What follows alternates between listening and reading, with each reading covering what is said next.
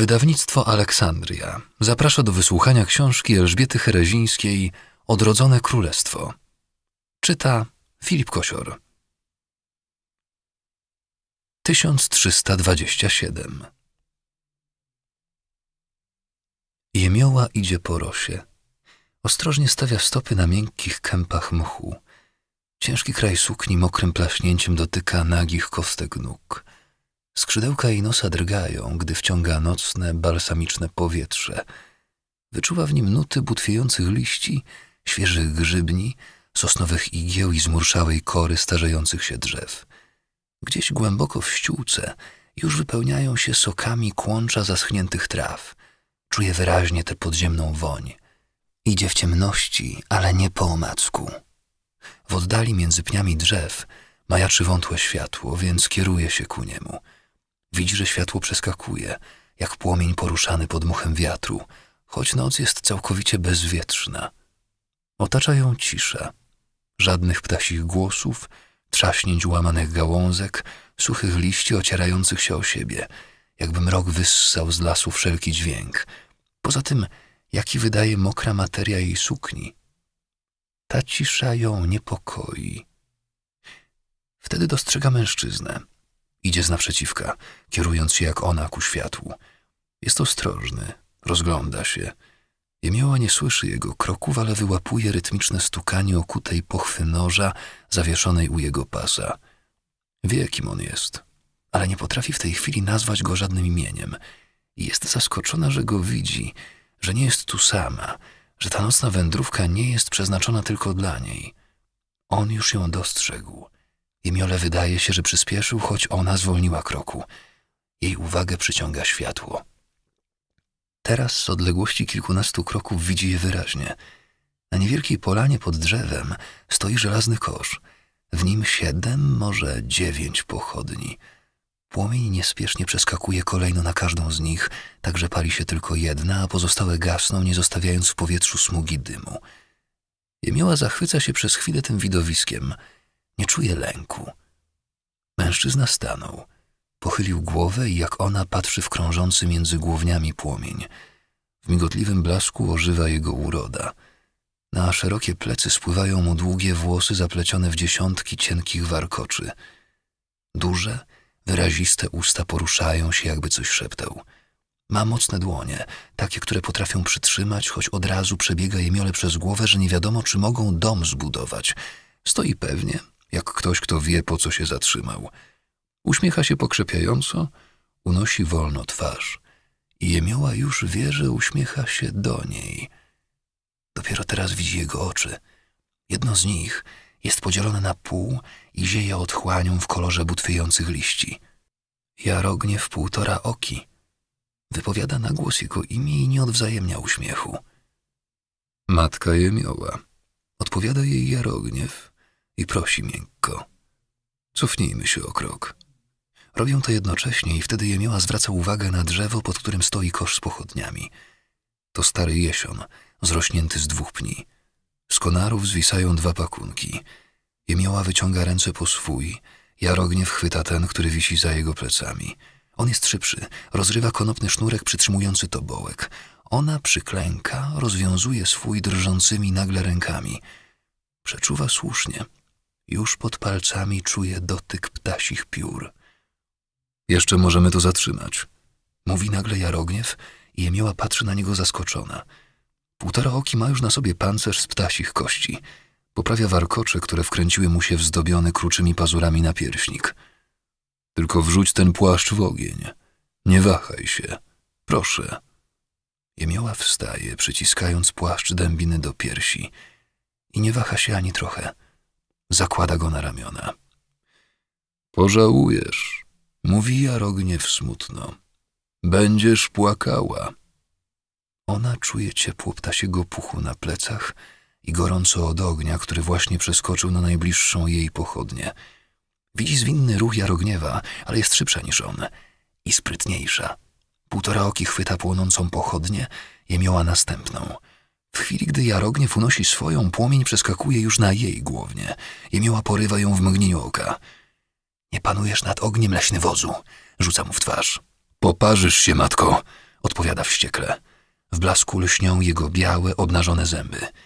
Jemioła unosi wysoko płonącą żagiew i w jej świetle patrzy na niego. Widzi płomienie skaczące z chaty na chatę, z dachu na dach, kłęby czarnego dymu zasnuwające wszystko. Wysoki, świdrujący krzyk kobiety wydaje się, że to manna. Na obraz pożaru nakłada się las. Ściółka szeleści pod stopami uciekających. To dzieci.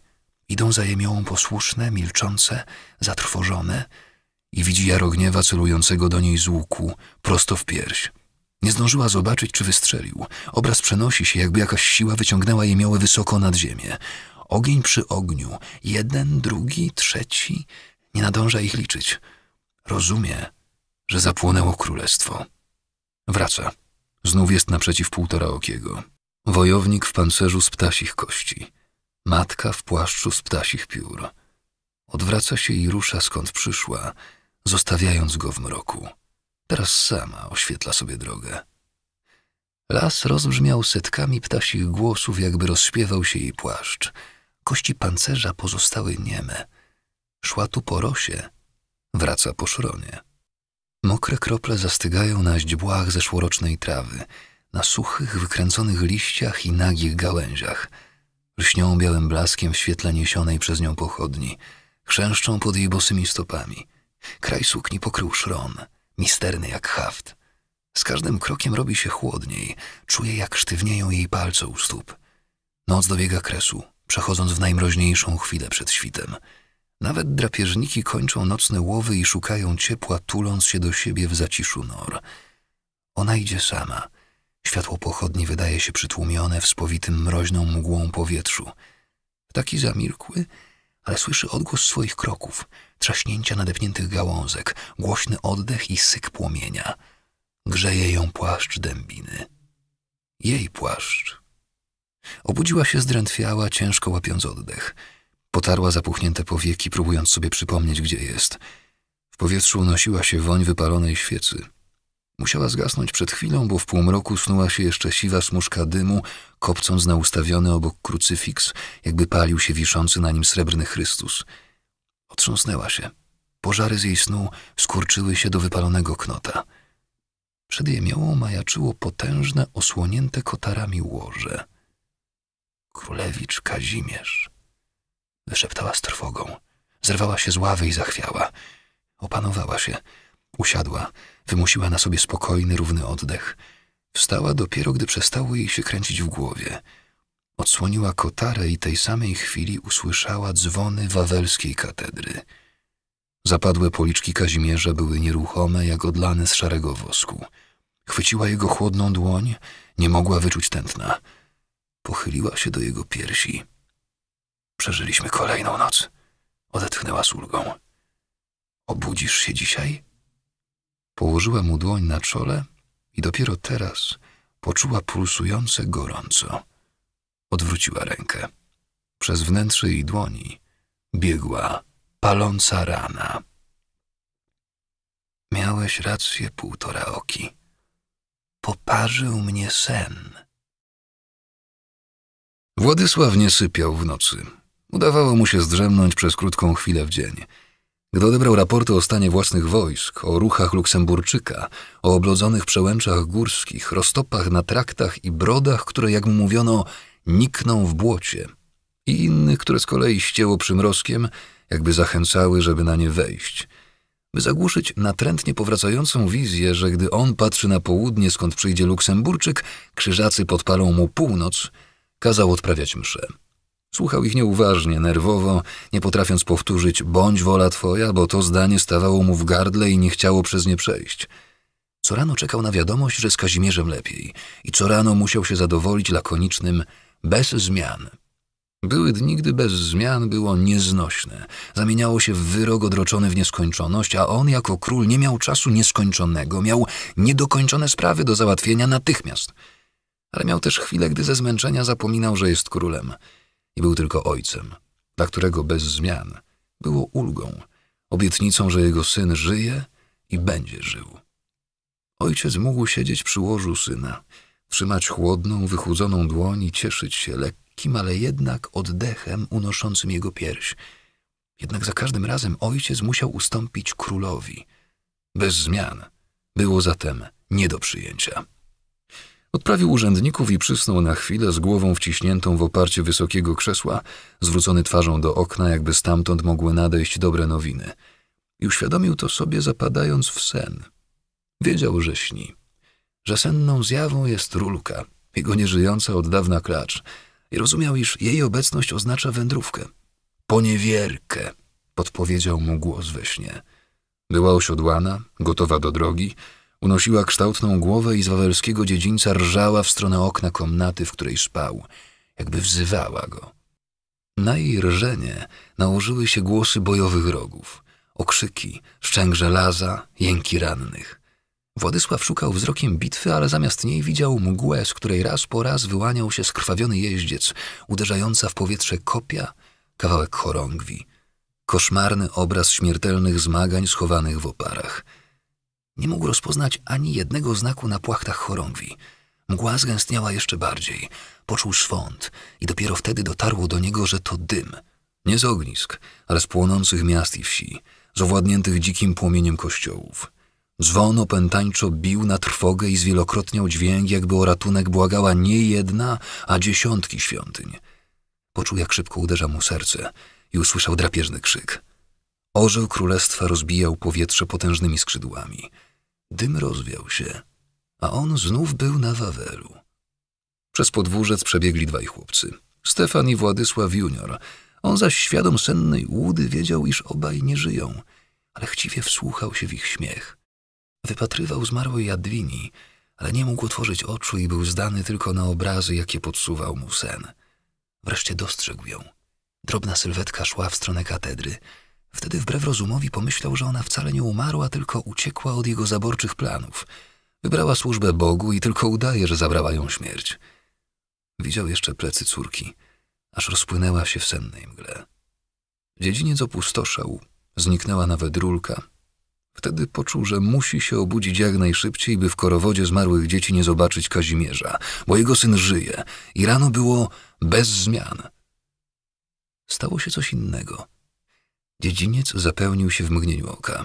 Służba, Straż Wawelska, wojewoda Spycimir ze swoją świtą, kasztelan Nawój z Morawicy, nawet pokraczny Grunhagen na kabłąkowatych nogach przechadzał się w ciżbie i pokrzykiwał do panien, jakby nigdy nic – Zagrał róg witający gości, zawtórował mu śmiech kuglarzy. Tłum rozstąpił się, robiąc miejsce jeźdźcowi, niedużemu młodzieńcowi w czarno-czerwonym płaszczu. Książę Świdnicki Bolesław! zawołał Herold, a ludzie na dziedzińcu zastygli w bezruchu, wpatrując się w przybyłego. Mój wnuk, pomyślał Władysław, synku Negundy. I w jednej chwili olśniło go. Jest w wieku Kazimierza, młody, silny, choć niski jak on.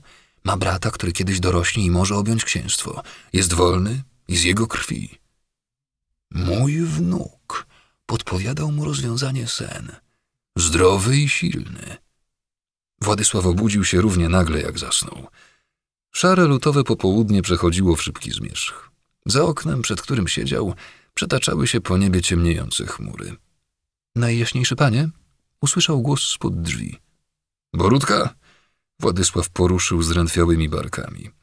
Nie, królu, jestem Jarota. Zastępuję go. Borutka najjaśniejszy pan posłał na Węgry za panami Ligaszczem i Jałbrzykiem. Ach, tak. Władek potarł ciężkie powieki.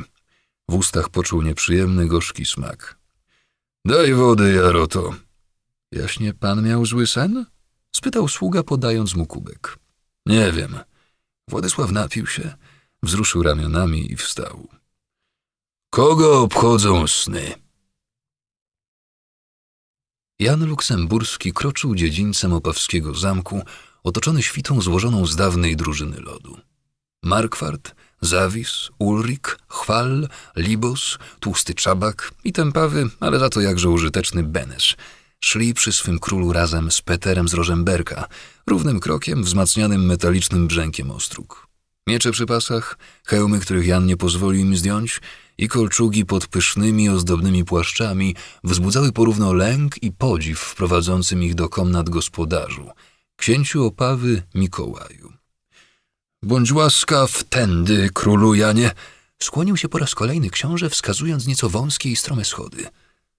A gdybym nie był łaskaw? Zażartował Jan po francusku, zwracając się do swego poety Wilhelma de Machaut. Wówczas książę zaniósłby cię na rękach, królu, odpowiedział Wilhelm z kamienną twarzą. Ale zważywszy na jego brzuszysko, nie byłoby to wygodne ani dla ciebie, ani dla niego. Jak i cała ta sytuacja, skwitował Jan. Nie sądziłem, że tak długo przyjdzie nam czekać na tę machinę wojenną. Roztopy uwięziły moją tajemną broń na przeprawie przez Łabę. Jestem wściekły. Zmienię temat, nim dojdziemy na ucztę, wtrącił Wilhelm szybko. E, czy to prawda, że nasz gospodarz jest zalegalizowanym bękartem przemyślidów? Jan zaśmiał się. Pod nieobecność Henri'ego de Mortain poeta dotrzymywał mu towarzystwa, a jego wścibstwo i umiłowanie dworskich plotek nieodmiennie Jana bawiło. Umieściłeś to oszczerstwo w poemacie o mojej wyprawie wojennej? Strzeż się, książę Mikołaj wyzwie cię na sąd Boży. Więc to nieprawda? Zrozumiał zawiedziony Wilhelm. Półprawda, pocieszył go Jan. Jest prawowitym synem Bękarta. Przemyślidzi dbali o przyszłość bocznych gałązek swego rodu. Uff, odetchnął Maszo. Wystarczy drobna poprawka. Jego ojciec był bratem twej żony? Jej stryjem, choć nigdy tak nie mów przy Eliszce. Moja żona mawia o Bękarcie on, a o naszym gospodarzu syn wiadomo czyj. Niezwykła kobieta, wyrwało się Wilhelmowi. Oczywiście w pewnym sensie. Schody skończyły się, weszli do przedsionka sali biesiadnej. Na ścianach pyszniły się poroża jeleni i żubrów i czekała służba księcia Mikołaja ubrana w jednakowe zielono-złote kubraki. Królu, niepewnie spytał gospodarz, może twoi baronowie zechcą przed ucztą zostawić broń, umyć dłonie? Prosimy o wodę. Łaskawie zgodził się Jan. Słudzy z miskami i ręcznikami podeszli najpierw do niego, Petera i Wilhelma, a potem do Benesza, Chwala i pozostałych. Mikołaj wymownie patrzył na miecze przy ich pasach. Jesteście moimi gośćmi, ośmielił się wreszcie upomnieć. Jesteśmy na wojnie, chłodno odpowiedział Jan, wchodząc do głównej komnaty. Ostrogi zadźwięczały na posadzce z glazurowanych płytek. Jan zajął najwyższe miejsce i nie zważając na to, iż stół przykryto ozdobnym haftowanym obrusem, zdjął z głowy hełm i położył przed swoim nakryciem. Tak samo zrobili jego baronowie. Książę Mikołaj zacisnął szczęki i nic nie powiedział. Poczekał, aż Jan usiądzie i zajął miejsce obok niego. Wina, królu? spytał Jan wyczuł w jego głosie wahanie. Odpowiedział pytaniem. Czy wytoczyłeś beczki dla moich rycerzy? Tak, panie. Służba wydaje im wieczerze na dolnym dziedzińcu. Jan uśmiechnął się szeroko i wskazał głową swój kielich. Książę Mikołaj odetchnął z ulgą i przywołał podczaszego. Rubinowy trunek popłynął do kielicha lśniącym ciężkim strumieniem. Burgundzkie, powiedział z dumą gospodarz. Trzymane w piwnicy na najprzedniejsze okazje. Opawa słynie z browarników, odrzekł Jan, nie podnosząc kielicha. A moje wojska zdrożone. Twoim ludziom nie zabraknie naszego piwa, królu, zrozumiał Mikołaj. Skinął na sługę, szepnął mu coś do ucha i odesłał. Ani gorącej strawy, ani chleba, ani... Jan przerwał mu ruchem dłoni, uniósł kielich i krzyknął do gości. Zdrowie moich baronów, zdrowie wojsk czeskich. Przeszliśmy bramę borawską w Śnieżycy, nie cofając się ani na krok pod naporem wiatru, śniegu i zimna. Zdrowie króla! Zawołali Benesz, Czubaka, Ulrik i pozostali. Niech żyje król Jan Luksemburski, dołączył się książę Mikołaj. Jesteście prawdziwą drużyną lodu, przepił do swoich Jan. Mam nadzieję, że pozostali dołączą do nas w czasie uczty. Mikołaju, zwrócił się do gospodarza, przy twym stole brakuje miejsc. Nie rozumiem. Oczy księcia Opawskiego zrobiły się niemal okrągłe. Czekamy jeszcze na walecznych gości, wodzów szpicy mych wojsk. Jan uśmiechnął się do niego najpiękniej, jak umiał. Każę dostawić stół, odpowiedział książę. Bez zwłoki, odrzekł Jan, wciąż uśmiechając się do gospodarza i przeciągnął ten uśmiech tak długo, aż Mikołaj zawołał pod stole go i cześnika. Gdy w ślad za rozkazami w komnacie pojawiła się służba z kozłami i blatami stołów, Jan upił kolejny łyk wina. Jesteśmy ci miłymi gośćmi? Spytał, patrząc jak panny nakrywają dostawione stoły bilutkimi obrusami. Najmilszymi, odpowiedział Mikołaj, a Jan zaśmiał się w duchu i dodał. Tak samo radować się będą książęta Opola, Cieszyna, Raciborza i... Peterze? Przywołał niezawodnego Petera z Rożemberka. Bytomia, Oświęcimia i Niemodlina, tubalnym głosem podpowiedział Peter. Jan nie miał głowy do tych małych księstw śląskich. Bezbłędnie rozpoznawał tylko Wrocław, bo o jego bogactwie nasłuchał się, jakby to miał być jakiś Mediolan północy. Nie mogę ręczyć za piastowskich książąt, zachowawczo odpowiedział Mikołaj. Ty to co innego, poważnie potwierdził Jan. Ćwierć krwi Przemyślida, jedyny w śląskim gronie. Ale czekaj, czy twoją żoną nie jest piastowska księżniczka? Dlaczego jej z nami nie ma? Księżna Anna jest w połogu, odpowiedział czerwieniąc się. Gratuluję, zawołał Jan. Czyżbyś wreszcie doczekał się syna? Dobrze wiedział, że nie. Mikołaj miał same córki i choć wciąż był w kwiecie wieku, lęk o dziedziczenie wpychał go w czeskie ramiona. Czuł się przemyślidą po tej kapce bękarciej krwi w żyłach? Czy też bał, że jako jedyny niepiast wśród śląskich książąt stanie się dla nich łatwym łupem, gdyby Bóg nie dał mu w przyszłości dziedziców? Nie lękaj się, Mikołaju z Opawy, jesteś moim lennikiem, odpowiedział na niezadane pytanie. Otaczam cię królewską opieką. Twój majestat nie ma sobie równych, wymamrotał speszony Mikołaj. Rozmawiałeś osobiście z książętami Opola, Cieszyna, Raciborza i tej reszty? Przeszedł do konkretów Jan. Przez kanclerza, mój panie. Przez kanclerza, powtórzył za nim król. Ja też lubię załatwiać sprawy pokojowo. Dyplomacja jest sztuką ponad sztukami. Zgodzisz się, Mikołaju? Naturalnie, ochoczo potaknął gospodarz. Ty, królu, słyniesz z dyplomatycznych talentów. I z wojennych, odezwał się Wilhelm de. Jan Luksemburski wygrał dla Wittelsbacha bitwę dwóch królów, nie na salonach, przypomnę, tylko w błocie pól nad rzeką Inn. Mikołaj niepewnie spojrzał na Jana, potem na Wilhelma, potem po twarzach baronów i ich hełmach leżących na stole, między piękną zastawą, srebrnymi świecznikami i kielichami z zielonkawo połyskującego szkła. Podtrzymam swą sławę, powiedział Jan. Wyślę moich baronów z drużynami zbrojnymi do wszystkich piastowskich książąt. Potwierdzą ustalenia twojego kanclerza i dopiszą to, czego w nich brakuje. Ależ królu, jawnie zaniepokoił się Mikołaj. Wcześniej mowy nie było o obecności wojsk, o przymuszaniu kogokolwiek. Ja wszystko przecież zostało ustalone. Nie ma potrzeby. Ty, królu, spieszysz na wojnę. Czekam na ostatnią część mych wojsk. Zimno przerwał mu Jan. W twojej gościnie, Mikołaju. Benesz, pojedziesz do Raciborza, ty chwale do Oświęcimia, Markwart do Bytomia, Zawis do Opola, Ulrik do Cieszyna i Libos do Niemodlina. Bezbłędnie wymienił wszystkie księstwa, o Wrocławiu nie wspomniał. Nie powierzyłby go nawet Peterowi z Rożemberka, Lipskiemu owszem, ale Lipskiego nie było z nimi. Król Jan ma olśniewającą pamięć. Wilhelm de Machaut napił się wina. A książę Mikołaj? Świetnego burgunda. To prawda, uniósł kielich Jan. Mikołaju, wino jest wyborne. Przy okazji odwiedzin w śląskich księstwach moi baronowie poproszą mych przyszłych sojuszników o wsparcie dla ciebie. Nie rozumiem. Książę Opawski nie krył już, że jest skołowany. Moje wojsko jest potężne. Dawno żaden czeski król nie zebrał tak wielkiej armii. Wykarmienie jej może być kłopotliwe. Nie pomyślałeś o tym, książę? Jan uśmiechnął się do niego z zakielicha. Nic nie szkodzi. Ja to przewidziałem. Poprosimy książęta śląskie, by przysłały zaopatrzenie dla naszych wojsk. Nie chcę ogałacać do cna twoich spichszy, gospodarzu. W tej samej chwili służba zaczęła wnosić parujące półmiski. Jan ledwie musnął wzrokiem spiętrzone figury pasztetów, świńskie łby pieczone w całości, dzicze szynki, udźce saren i miski z tłuczonym grochem.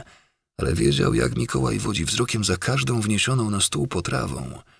Jakby nagle zaczął przeliczać, czy stać go na wykarmienie króla, jego świty i wojsk, które, jak dowiedział się przed chwilą, mają zamiar czekać na jego wikcie na ostatnie chówce.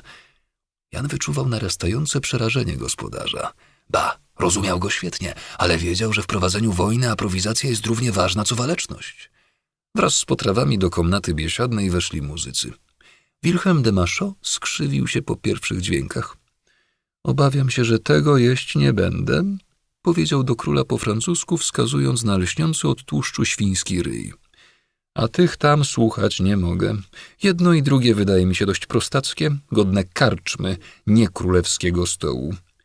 Poznawaj inne kultury, odpowiedział mu Jan. Francja to pępek, ale nie koniec świata. Zwonimir, zawołał witając stającego w drzwiach barona. Był bez hełmu, ale za to w ostrogach, brudnym od błota płaszczu i z mieczem u pasa.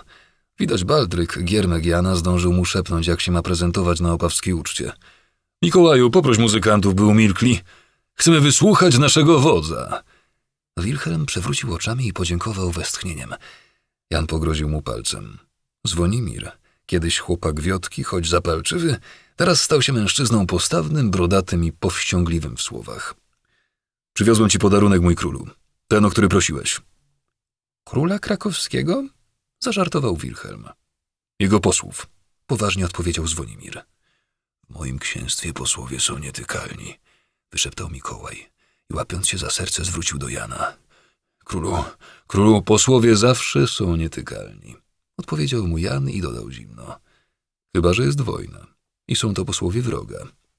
Gdzie ich złapaliście? W Dolinie Popradu. Odetchnij, książę, to nie na twojej ziemi. Mieli przy sobie listy. Owszem, ale tylko od królowej Jadwigi do królowej Elżbiety. Dla zmylenia, to pewne. Patrząc po podarkach na wozach, to musiało być poselstwo krakowskiego króla do jego zięcia, króla Węgier. Zapewne główne dyspozycje mieli przekazać ustnie. Pytałeś ich? Dyplomatycznie, odpowiedział Zwonimir. Słyszysz, książę? Jan przekrzywił głowę ku gospodarzowi. Mój wódz uszanował nawet posłów wroga jadących po pomoc. Cóż, król Władysław będzie siedział na Wawelu, patrzył na zamieć idącą z Czech ku swemu królestwu i w Śnieżycy nie zobaczy posiłków węgierskich, bo jego zięć nawet nie dowie się, że był wzywany na ratunek, zwłaszcza, że ów zięć, Karobert, pił ze mną wino, jak my dzisiaj, i przysięgaliśmy sobie sojusz. Jan napił się burgunda i zwrócił do Zwonimira. Znaczni jacyś? Toporowie i lelewici. To pierwsi panowie przy królu. Odpowiedział Zwonimir i jego wzrok zatrzymał się na dłużej na kielichu w ręku Jana. Gospodarzu, ponaglająco powiedział król. Mikołaj był tak zdenerwowany, że nie zrozumiał, ale jego podczaszy owszem. Podał pełen kielich baronowi, a ten wychylił go duszkiem. To Burgund, zaśmiał się poeta. Nie szkodzi. Zwonimir otarł usta wierzchem dłoni. Tak piją Czesi, zawołał król Jan. Książę, może znajdzie się na tej uczcie opawskie piwo dla wodza mego zwiadu? Spieszył do nas z daleka. Garniec, dodał Zwonimir. Topór jest kasztelanem krakowskim, Lelewita wojewodą. Odezwał się chwale z drużyny lodu. Czy to nie dziwne, że król Władysław wysyła takich ludzi? Nie powiedziałem, że mam wojewodę i kasztelana. Odpowiedział mu Zwonimir. W poselstwie byli ich rodowcy. Wąsisz tylko po znakach na tarczach? Zakpił chwale. Jan od dawna widział, że ci dwaj rywalizują ze sobą. Spokój, uciszył ich. Jutro wezwiemy ich przed nasze oblicze i będziemy słuchać. Dzwoni mi, że usiądź, jedz i pij. Sprawiłeś się nadzwyczajnie. Odpoczniesz i znów ruszysz na pogranicze, skoro jak słyszę taki ruch w Dolinie Popradu. Muzyka? Zapytał Mikołaj i już unosił rękę, by dać znak grajkom. Lepiej wino, westchnął Wilhelm de Machaut i znów w sukurs przyszli mu goście. Libos i Hynek! zawołał siedzący najbliżej wejścia Benesz. Ręka księcia Mikołaja opadła. Muzycy wzięli to za znak, zadali w piszczałki, gospodarz zamachał zniecierpliwiony i nierówno zamilkli. Podczaszy tym razem był szybki. Czekał z dwoma kielichami w pogotowiu. Co przynosicie, druchowie moi? Zapytał ich wesoło Jan, z zadowoleniem patrząc na ich nieogolone twarze i ciężkie od błota płaszcze. Rozbiliśmy obóz i szykujemy się do oblężenia, oznajmił Chynek. Gdzie? spytał Jan, łowiąc paniczne spojrzenie gospodarza. Miasto srebra i ołowiu, odpowiedział Libos i jego duże usta rozciągnęły się w uśmiechu. To w niczym nie uspokoiło księcia Mikołaja. Na Śląsku nie jedno takie, pomyślał rozbawiony Jan. Największy zamek w drodze do Krakowa, dorzucił Chynek, z trudem kryjąc triumf. Obóz, jak mówię, już gotowy. A piękny Sławków będzie twój, królu Janie. Potężna twierdza biskupów krakowskich, powiedział Libos z taką dumą, jakby sam ją budował. No to postawiliśmy czeską nogę w małej Polsce, zarechotał Benesz. Jan napił się wina, patrząc w oczy księcia Mikołaja. Do gospodarza dopiero w tej chwili dotarło, iż część wojsk Jana dawno przeszła przez jego księstwo, ba, przeszła i przez kolejne ziemie, księstw Raciborskiego, Cieszyńskiego, Bytomskiego i jest już w granicach Małej Polski, że ten wielki obóz, jaki rozbili pod Opawą, miał odciągnąć uwagę wszystkich od szpicy, która poszła dalej. I, czego być może Mikołaj się jeszcze nie domyślał, manewr ten miał sprawdzić zachowanie przyszłych sojuszników, władców tychże księstw, których nazwy Jan z takąż łatwością zapamiętywał, co mylił. Czy napotkaliście w drodze jakieś przeszkody? spytał Jan. Żadnych królu, odpowiedział Libos i sięgnął po podany przez podczaszego kielich. To będzie udana wojna. I szybka, dorzucił Chynek, wychylając kielich równie prędko jak wcześniej Zwonimir. To na co czekamy? rozochocił się Benesz. Na bombardę, która rozkruszy mury Wawelu, mój druhu.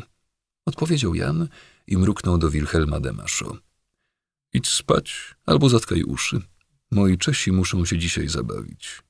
Po czym dał znać księciu Mikołajowi, by pozwolił grać muzykantom i jego podczaszemu, by do biesiadnej podano więcej opawskiego piwa. Wyważyliśmy wrota do Małej Polski! Wzniósł triumfalny toast król. Janisław, arcybiskup gnieźnieński, nie uległ jemiole, która chciała, by rozmowy odbyły się przy łożu chorego Kazimierza.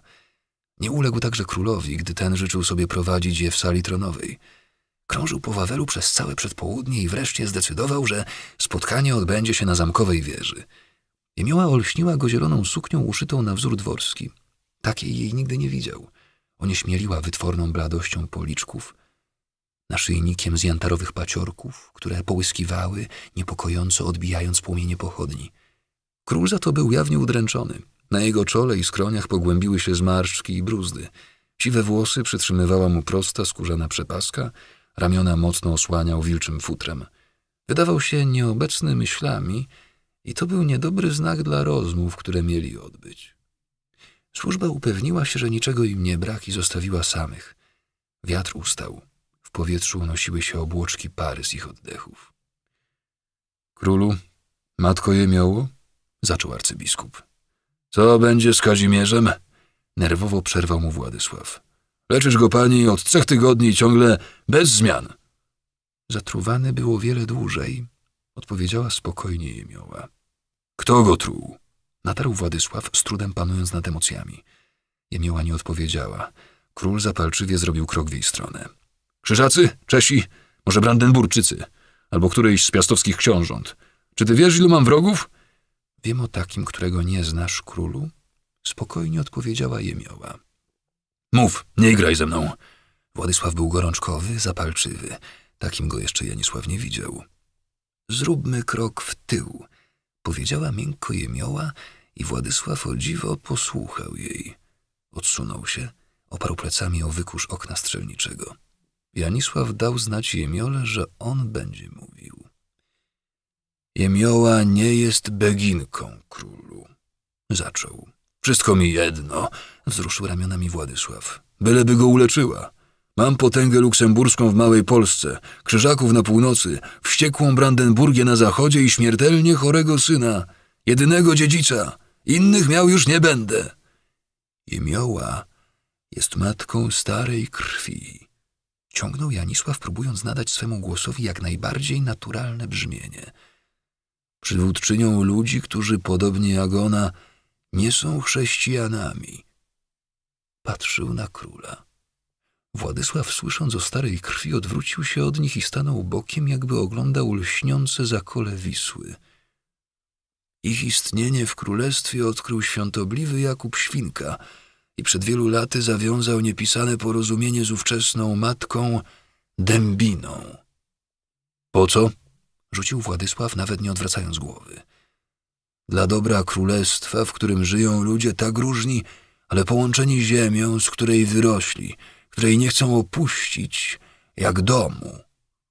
Arcybiskup wahał się tylko chwilę, nim powiedział Jakub Świnka był człowiekiem starej krwi, w prostej linii potomkiem bezpryma i kobiety zwanej Floryną. Janisław zobaczył, że król drgnął, jakby układał sobie w głowie wiedzę, którą otrzymał. Mówił więc dalej. Jakub Świnka pokonał przyrodzone piastom pragnienie noszenia korony. Nałożył ją na skronie Przemysła, myśląc, że łamie klątwę wielkiego rozbicia. Morderstwo króla omal nie zabiło odnowionego królestwa. Janisław przełknął ślinę. Z emocji zaschło mu w ustach. Wtedy za Jakuba i Przemysła byliśmy blisko. W drodze do korony cichych bohaterów było wielu. Nie tylko arcybiskup Świnka, ale i Dębina oraz stojąca przed tobą Jemioła. Słyszałem o zielonych grotach. Wszedł mu w zdanie król. Janisław wiedział, że to zmierza w złą stronę. Trudno było nie wychwycić nuty pogardy w jego tonie. O wojownikach Jarogniewa słyszałeś, królu? Przyjęła rozmowę Jemioła. O starcach siwobrodych, kapłanach trzygłowe, którzy ich wiodą przeciw tobie? Bzdura, prychnął król w stronę Wisły. Posąg trzygłowa porąbał książę Mieszko przed setkami lat i spalił. A jeśli tobie ktoś spali krucyfiks, zaprzesz się wiary w Chrystusa? Odpowiedziała mu szybko. Czy też będziesz szukał pomsty na tym, kto zbezcześcił znak wiary w twego Boga? Ja z nimi nie walczę, odpowiedział Władysław po chwili. Ale oni już są na wojnie z tobą. Powiesz, że to nieważne, bo ich nigdy nie widziałeś? Oni widzieli ciebie, królu Władysławie, i sięgnęli po twego syna. Tu, w najlepiej strzeżonym zamku królestwa, pod bokiem najdzielniejszych rycerzy, straży, która od dnia ślubu pilnowała go w dzień i w nocy. Nie ustrzegłeś go przed nimi. To ostatnie zabrzmiało przerażająco. Oczy jemioły lśniły w półmroku nadchodzącego wieczoru. Władysław nie mógł tego widzieć. Wciąż stał odwrócony bokiem, nieruchomy, wpatrzony w nurt Wisły. Milczał. Janisław nie spodziewał się tak dziwnego zachowania króla. Przewidywał sprzeciw, drwinę, niedowierzanie, ale nie to, że odwróci się i nie będzie chciał spojrzeć im w oczy. Po śmierci króla Przemysła podjęła jemioła. Jedna z naszych kapłanek przepowiedziała, że nadejdzie czas wojny tak strasznej, jakiej nie znał ten kraj. To był czas, gdy przez starszą Polskę przetaczały się różne wojska. Głogowskie, brandenburskie i moje, przerwał jej. Pamiętam. O którym z wrogów mówiła ta kobieta? Głębi duszy znasz odpowiedź królu, powiedziała jemioła. Janisław poczuł, że z jego ciałem dzieje się coś dziwnego. Falą przeszło przez niego gorąco. Nie rozumiał, dlaczego widzi wszystko z góry, jakby nagle uniósł się pod spiczasty dach wieży. Widział siebie, jemiołę i króla, połączonych, choć każde z nich stało osobno. To krzyżacy. Usłyszał z dołu głos jemioły. Żelaźni bracia, wiesz o tym królu. Władysław chłonął każde słowo tej kobiety – nie mógł patrzeć na nią, bo miała nad nim jakąś niewytłumaczalną władzę. Wiedział o tym od tamtej chwili, gdy spotkał ją idącą do komnaty chorego Kazimierza. Nie potrafił tego wytłumaczyć, więc wolał nie marnować sił na walkę z czymś, czego nie rozumiał. I tak, gdy powiedziała to krzyżacy, wiedział, że kimkolwiek jest, ma rację. Bał się Luksemburczyka i czeskiej potęgi ciągnącej na jego Kraków – ale śmiertelne przerażenie czuł wyłącznie na myśl o wojnie z zakonem. Żelaźni bracia, mroczny sekret jego nieprzespanych nocy. Dlaczego jednocześnie mówisz o krzyżakach i wyznawcach Trzygłowa? Odezwał się, gdy udało mu się powstrzymać wewnętrzne drżenie. To połączenie niemożliwe, wykluczające się.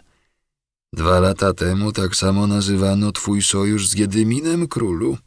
Odpowiedział mu Janisław, nie ona. Macie dowody? spytał, patrząc na ciemny niczym ołów nurt Wisły. Nic, co można by zawieść papieżowi, odrzekł arcybiskup. Krzyżacy są przewidujący, a wojownicy Jarogniewa potrafią zacierać ślady, dodała jemioła. Mogę cię jednak zapewnić, panie, że to ich ludzie przykuli do łoża twego syna. I sądzę, że to oni stoją za śmiercią twojej córki. Była przypadkową ofiarą, jak mniemam, bo celem zawsze był Kazimierz.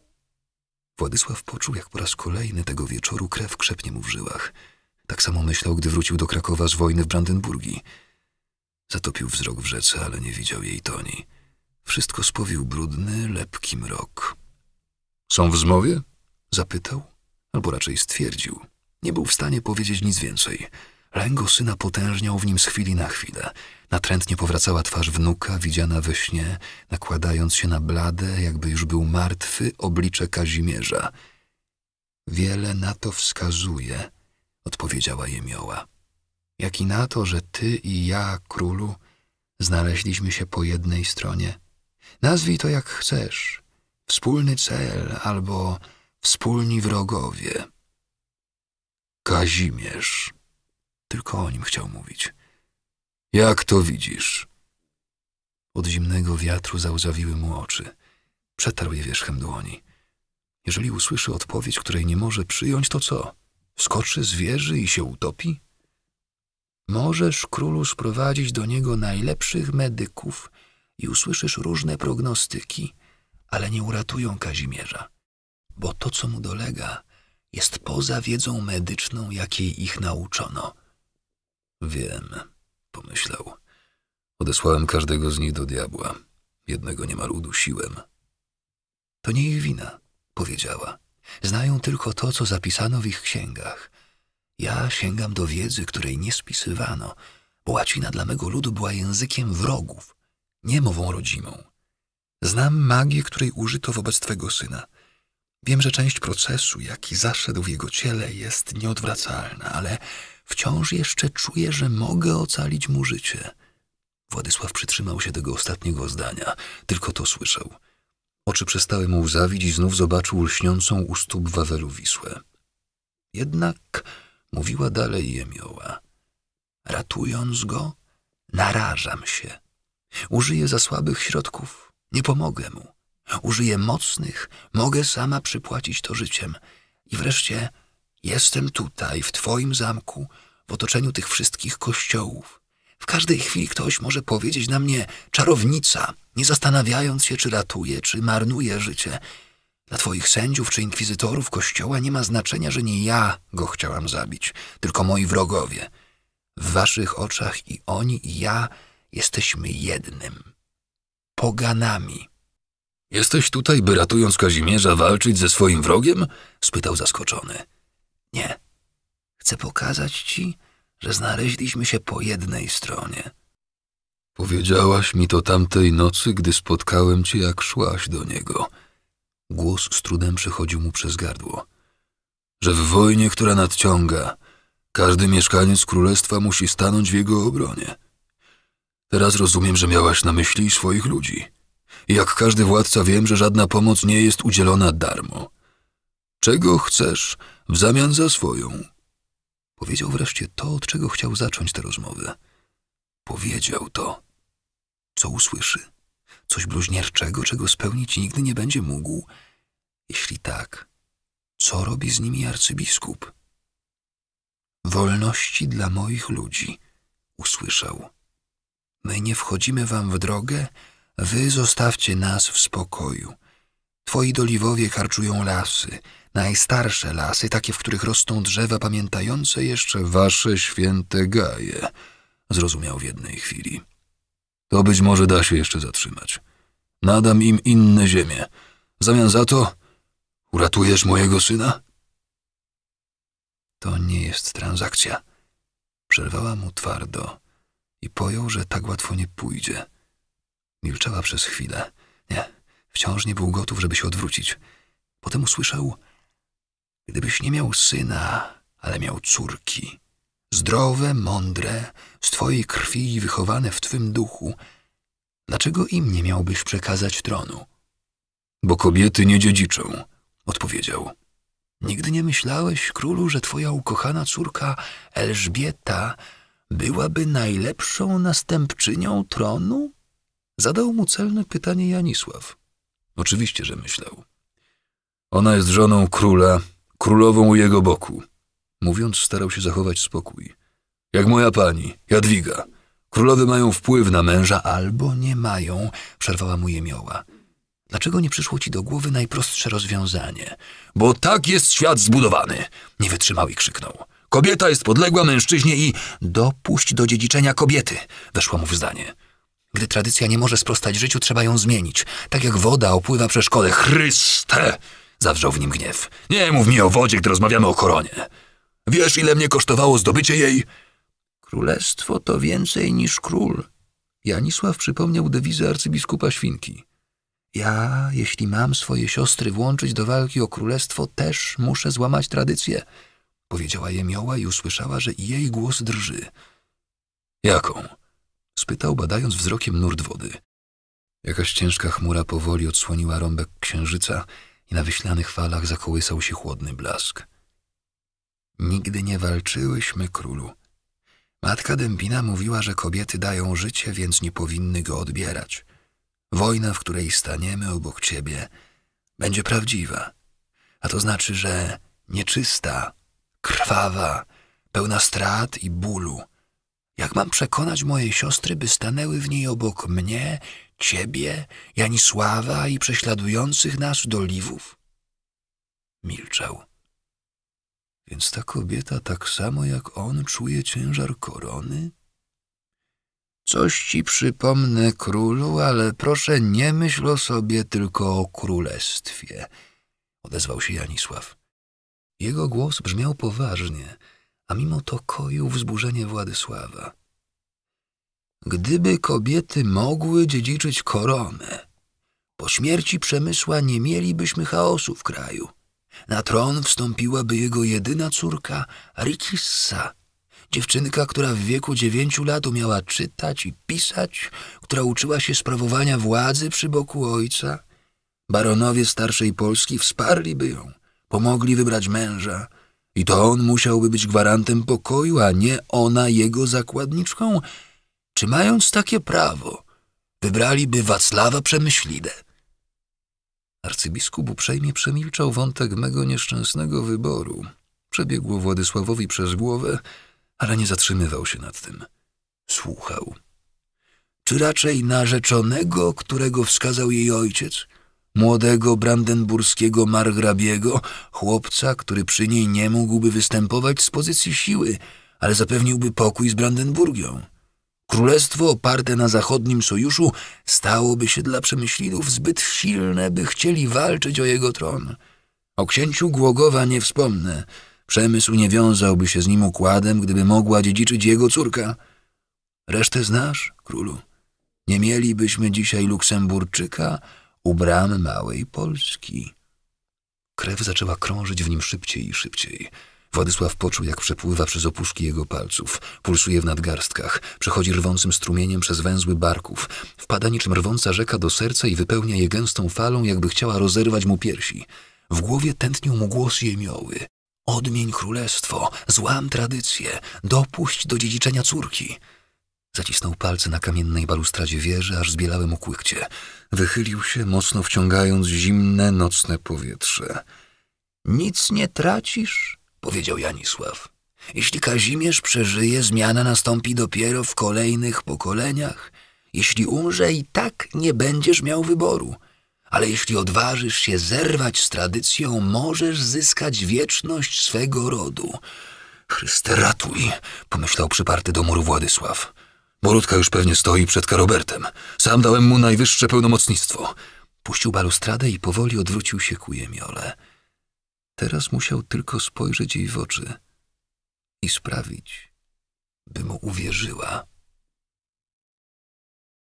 Ligaszcz z rodu Pomianów czekał od wczesnego rana, aż ponownie przyjmie go król węgierski.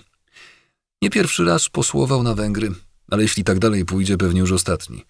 Król Władysław dał mu do pomocy rodowca, Jałbrzyka zwanego Gadułą, ale Jałbrzyk tylko po polsku był aż tak wymowny. Jako poseł sprawdzał się wyłącznie na biesiadach, popijawach i ucztach, a tych nie wyprawiono odkąd przybyli do Wyszehradu.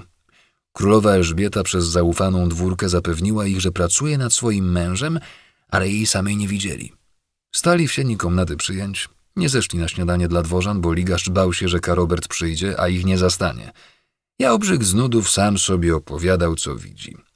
Tapiseria na ścianie w pięciu kolorach, czerwonym, złotym, niebieskim. Niebieski się przybrudził i jak gdyby popruł. Przedwczoraj przyjechali. Król nie spotkał się z nimi, ale wtedy Ligaszcz nie wietrzył w tym nic złego. Monarchowie mają własne plany. Nieoczekiwany poseł jest czasem niczym grad w letnie popołudnie. Wczoraj rano wezwał ich, kazał przyjść na mszę do zamkowej kaplicy, a wychodząc po nabożeństwie zatrzymał się przy nich i zadał tylko jedno pytanie. Mój teść zerwał sojusz z poganami, czy nadal gości litewskie zagony? Nie czekał nawet na odpowiedź. Znał ją. Potem zagarnął ich na swe pokoje Dionizy Hederwary, koniuszy królowej Elżbiety. Z pozoru ostatni z siedmiu najważniejszych urzędników jej dworu, ale dla ligaszcza od lat prowadzącego sprawy węgierskie nie było tajemnicą, że najbardziej zaufany i wpływowy. To było dobrym znakiem, póki Dionizy nie powiedział. Trafiliście w zły czas. Palatyn Druget ciężko chory. Król bez jego rady nie chce podejmować decyzji. Nie mamy czasu, Desso, odpowiedział mu ligaszcz. Luksemburczyk idzie na Kraków. Wiemy, potwierdził Dionizy. Też mamy zwiadowców i przed chwilą odebrałem od nich ciekawą wiadomość. Służba podała soprońskie wino, ulubiony trunek Dionizego. Ligasz napiłby się i odwaru z piołunu, byleby to mogło pomóc jego misji. Mów, poprosił, chwytając kielich jak ostatnią deskę ratunku. Król wysłał za wami jeszcze jedno poselstwo. Czesi je przechwycili. Jezu, to zła wiadomość. Ciekawa, nie przechwycili wszystkich. Zatem, zrozumiał Ligaszcz, jedzie do nas ktoś, kto ma lepszą ofertę niż nasza. Kto ma ofertę? Zaśmiał się Desso i stuknął kielichem w kielich Ligaszcza. Wy macie jedynie prośbę o natychmiastową wojenną pomoc, przyjacielu. Ja jestem stary Węgier. Król mówi na mnie Dionizy, a ja wolę jak moi i ty mówicie Desso. Ja bym tych Litwinów nie widział, tylko wsiadał na nasze szybkie konie i wam pomógł. Ale król, inna rzecz. On z Neapolu, a Neapol papieża podporą. Ligaszcz zrobił, co wczoraj podpowiedział Desso. Stanął w sieni pokoju przyjęć i się stamtąd nie ruszał. Nieustannie myślał, kogo wysłał za nimi król. Pewnie któregoś z lisów, albo nawet z toporów. Niech będzie ktokolwiek, byle był szybki, bo z godziny na godzinę poczekalnia zapełniała się ludźmi. Ban Slawonii, dwóch żupanów, sędzia nadworny, wreszcie Jan Druget, nestor neapolitańskiego rodu Drugetów, świeżo przybyły z Italii na wieść o chorobie brata, palatyna Filipa Drugeta. Ta choroba naprawdę była im nie na rękę. Cztery lata temu to palatyn Filip dowodził wojskami węgierskimi podczas wyprawy na Ruś, kiedy na tamtejszym tronie osadzali młodego księcia Bolesława Jerzego. Od tej pory Filip Druget był ich najmocniejszym stronnikiem na tutejszym dworze. No i proszę, rozchorował się. Jan Druget nie stał w poczekalni długo. Wszedł do komnaty jako pierwszy, gdy tylko dano znać, że Karobert przybył, wchodząc znajdującym się po przeciwnej stronie specjalnym wejściem królewskim. Drzwi za nim zamknęły się i czekanie stało się coraz bardziej nieznośne. Jałbrzyk przechodził sam siebie, mamrocząc, żupan Wasfar jest pół raza grubszy od żupana Sopronia, ale ten z Sopronia jest wyższy o głowę od tego z Wasar i przestań, syknął na niego ligaszcz, bo oszaleję od twojego gadania. A ja wariuję milcząc, postawił mu się Jałbrzyk. Co zamknę gębę, to się duszę. Co mi bronisz? Węgrzy i tak nas nie rozumieją. Żebyś wiedział, jak bardzo, pomyślał przerażony ligaszcz. Do tej pory potrafił wypełniać zadania Władysława, a służył mu, gdy ten jeszcze nie był królem, tylko księciem. Razem byli na banicji, na każdej z wojen i w krótkich latach pokoju. Ale nigdy zadanie nie było tak wymagające jak teraz, stawka tak wysoka i nigdy jeszcze nie był tak daleko od celu.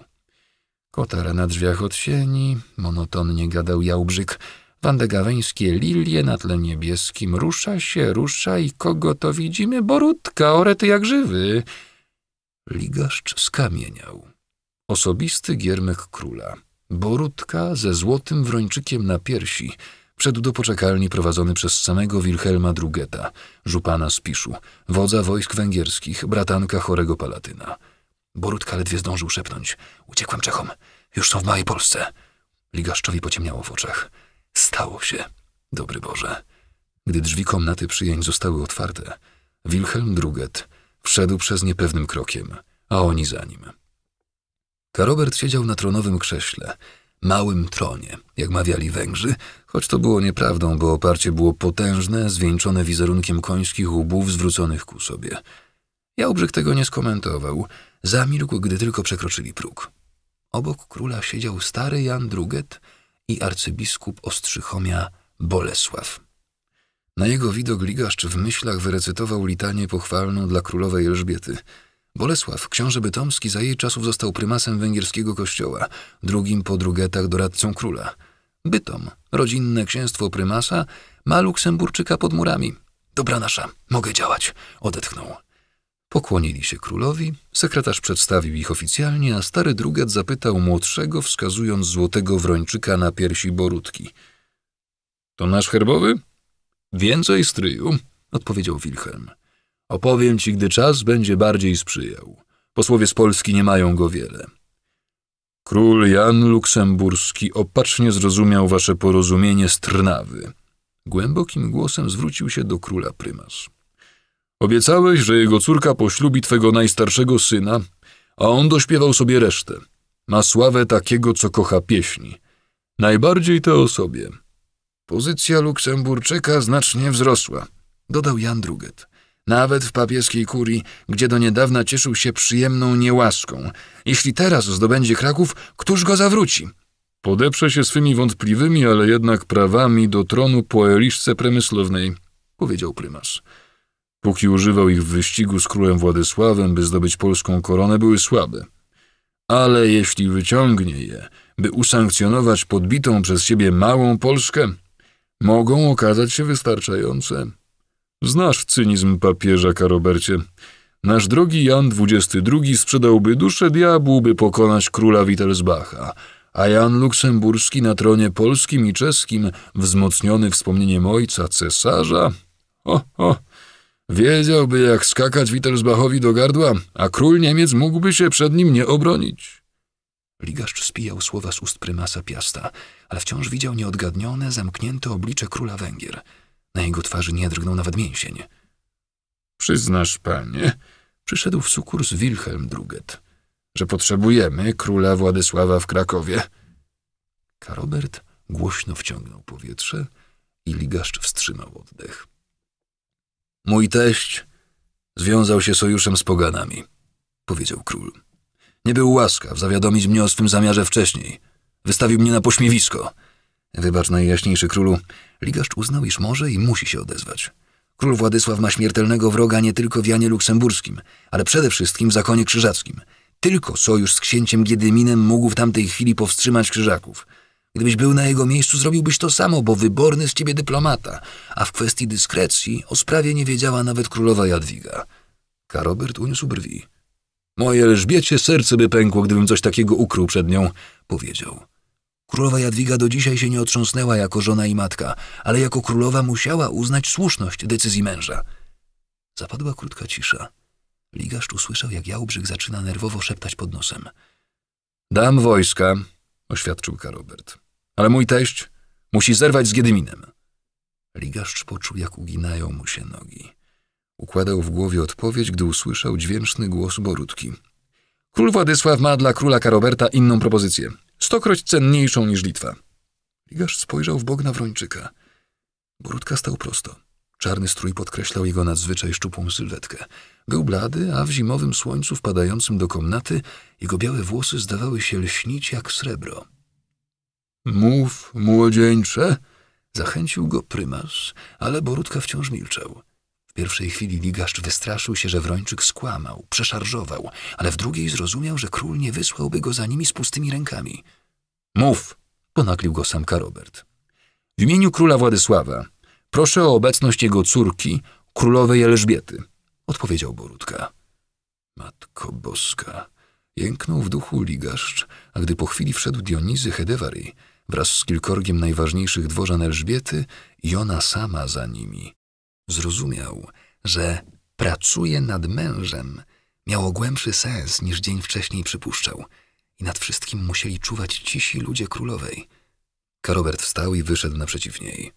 Dziewczyna, którą Ligasz znał od dnia narodzin, którą odwoził na węgierską granicę przed ślubem, dawno przestała być Elżunią. Wciąż była drobna, przy Karobercie, który ujął jej dłoń i ucałował palce, wydawała się niemal kruchą, ale była niczym maleńka złota brosza spinająca płaszcz, sto razy od niego mniejsza, a wszystkie oczy kierowały się na nią. Druget i prymas ustąpili jej swoich miejsc, ale odmówiła grzecznie, jak córka. Przysiadła na szerokim podłokietniku królewskiego krzesła po lewej stronie Karoberta. Nie chcieli mówić bez ciebie, wyjaśnił król. Pół roku temu urodziła Ludwika – Przyjrzał się jej ligaszcz. Kwitnie. Przynoszę smutne wieści, królowo, podjął Borutka. Twój brat, królewicz Kazimierz, jest ciężko chory. Zbladła. Chwyciła męża za rękę. Dlaczego panowie Ligaszcz i Jałbrzyk nam tego nie powiedzieli? Spytała. Twój ojciec im zabronił. Dlaczego tobie pozwolił? Ligaszcz widział, jak Borutka patrzy Elżbiecie w oczy, przenosi wzrok na Karoberta i mówi. Kazimierz może nie przeżyć. Zapadła cisza. Elżbieta odchyliła głowę i oparła o rzeźbiony koński łeb zdobiący tron jej męża. Przymknęła oczy. Czy to nie podstęp królu, by przez litość wymóc twą pomoc? spytał stary druget. Było nam wiadomym o chorobie królewicza, ale nie o tym, że może być śmiertelna. Odpowiedział Karobert, a Ligaszcz wstrzymał oddech. Król zwrócił się wprost do Borutki. Co jest cenniejsze według mego teścia niż zerwanie sojuszu z Litwą? Elżbieta otworzyła oczy. Następstwo tronu, odpowiedział Wrończyk. Prymas smoknął, nie wiadomo czy z podziwu, czy z zaskoczenia. Karobert poczerwieniał. Jan Druget poruszył się nerwowo. Tylko twarz Elżbiety była niewzruszona. Wpatrywała się w Borutkę, jakby chciała wyczytać z jego oczu, czego nie powiedział. Mam rozumieć, że mój teść, król Władysław, obiecuje mi następstwo tronu w razie śmierci Kazimierza? Karobert nadaremnie starał się panować nad głosem. Król wierzy, że Kazimierz wyzdrowieje, odpowiedział Borutka. Ale nie może się opierać tylko na ojcowskich przeczuciach, więc gdyby go zawiodły, gotów jest podjąć negocjacje zmierzające do przekazania polskiego tronu w ręce waszych synów. Karobert poruszył się, odwrócił ku żonie. Słyszysz, moja droga? Spytał tak tkliwie, jakby byli tam sami. Tron polski mógłby przypaść naszemu Ludwikowi, bo pierworodny, Władysław Odziedziczy Węgierski. Słyszysz to? Słyszysz? Niemal westchnął. Wydawało się, że Elżbieta wpatrzona w Borutkę jest myślami zupełnie gdzie indziej. Prawym ramieniem objęła męża, lewe, które trzymała przyciśnięte do piersi, położyła na łonie. Słyszę, Karobert, odpowiedziała czule, choć wyraz jej twarzy wciąż był nieporuszony i zdawał się niemal kamienny. Ostrzyca pewnym krokiem pokonywała zawieszone między gałęziami drzew kładki. Dostrzegła nowe mocowania, wymienione liny i kilka dodatkowych zejść. Nie próżnowali, pomyślała. Wartownicy pozdrowili ją i próbowali zatrzymać. Mów co w świecie! Słońce wstaje na wschodzie? Roześmiała się i spytała. Zaręba wiesionie? Popatrzyli po sobie. Bieloń wymijająco spojrzał w bok. Myśleliśmy, że ty ujeżdżasz smoka, odpowiedział. Dawno mnie tu nie było, powiedziała pod nosem, bardziej do siebie niż do nich i weszła do wnętrza drzewnej warowni. Pokręciła się chwilę przed warownym jesionem, pogadała z chłopakami, którzy właśnie wrócili ze służby, potem przysiadła w kuchni. Dostała gęstej polewki z twarogiem i przyznała, że jedzenie poprawiło się od czasu, gdy zamieszkało z nimi kilka dziewczyn, które uciekły od jemioły. Co u wierzbki i dziewanki? Usłyszała cichutkie pytanie bladej, rudowłosej kobiety. Ostrzyca nie mogła przypomnieć sobie, jak jej na imię. Dlaczego szepczesz? Bo to, że wracasz z Krakowa jest tajemnicą, odpowiedziała Ruda i mrugnęła do niej. Ostrzyca otarła usta wierzchem dłoni i uśmiechnęła się, oddając miskę. Dobrze, że mi przypomniałaś. Zapominam o wszystkim. Jak ci na imię? spytała. Kostrzewa, przypomniała się rudowłosa. Kostrzewa. Szukała w pamięci ostrzyca. Przyszłaś do nas z matecznika razem z wierzbką i dziewanną? Upewniła się. Tak było. Odpowiedziała dziewczyna i umyła miskę ostrzycy w wodzie z cebrzyka. To masz jakieś wieści od nich? Podjęła i wytarła miskę do czysta. Martwię się. Sporo czasu minęło, jak Jarogniew je posłał. Sama wiesz, gdzie. A gdy pytam o którąś, każe siedzieć cicho. Lepiej, żebyś go posłuchała, jeśli nie chcesz stąd wylecieć. Poradziła ostrzyca. A o panny krakowskie się nie martw, radzą sobie. Tobie w kuchni nikt nie pomaga? Rozejrzała się nerwowo. Nie widzę tych dwóch, y, matki z córką, bylicy i lebiotki. Skrzywiła się mimowolnie, wymawiając ich imiona. Wiadomość, że smoka nie ma w jesionie, wkurzyła ją. Ale z każdą chwilą coraz większą irytację budziła w niej równoczesna nieobecność lebiotki i bylicy. Nie mogła przestać o tym myśleć. Zbyt dobrze pamiętała, jak głasiły się do zaręby. Polazły za nim. Dokąd? Nie lubisz ich? spytała rudowłosa. Ja? Skądże? Przepadam za obiema. Masz piwo? Kostrzewa spojrzała na nią przeciągle i zniknęła zaplecioną straw zasłoną. Po chwili wyszła z dzbanem i kubkiem. Nalała do pełna. To gdzie te ślicznotki? spytała ostrzyca, pociągając łyk piwa. Przed moim wyjściem z warowni ciągle się tu kręciły. Swoją drogą nigdy nie byłam pewna, która z nich jest matką, a która córką. Za zarębą włóczyły się obie, dodała w myślach. Nie ja jedna to widziałam. Nie umiem odpowiedzieć na twoje pytanie. Cicho i wolno odrzekła Kostrzewa. Boisz się mnie? Trochę. Ostrzyca roześmiała się. Jednym haustem dokończyła piwo i odstawiła kubek, a potem chwyciła Kostrzewę za głowę, przyciągnęła do siebie i pocałowała w blade czoło. I słusznie szepnęła, nie puszczając jej głowy. Lepiej się mnie bać bez powodu, niż mi się narazić. Gdzie one są? Jasne oczy dziewczyny zrobiły się okrągłe. Nie wiem, zniknęły jakiś czas temu. Wtedy, gdy ulotnił się smok? Pytając, wpatrywała się w nią intensywnie. Chyba wcześniej, przełknęła ślinę Kostrzewa. Jarogniew nic nam nie mówi.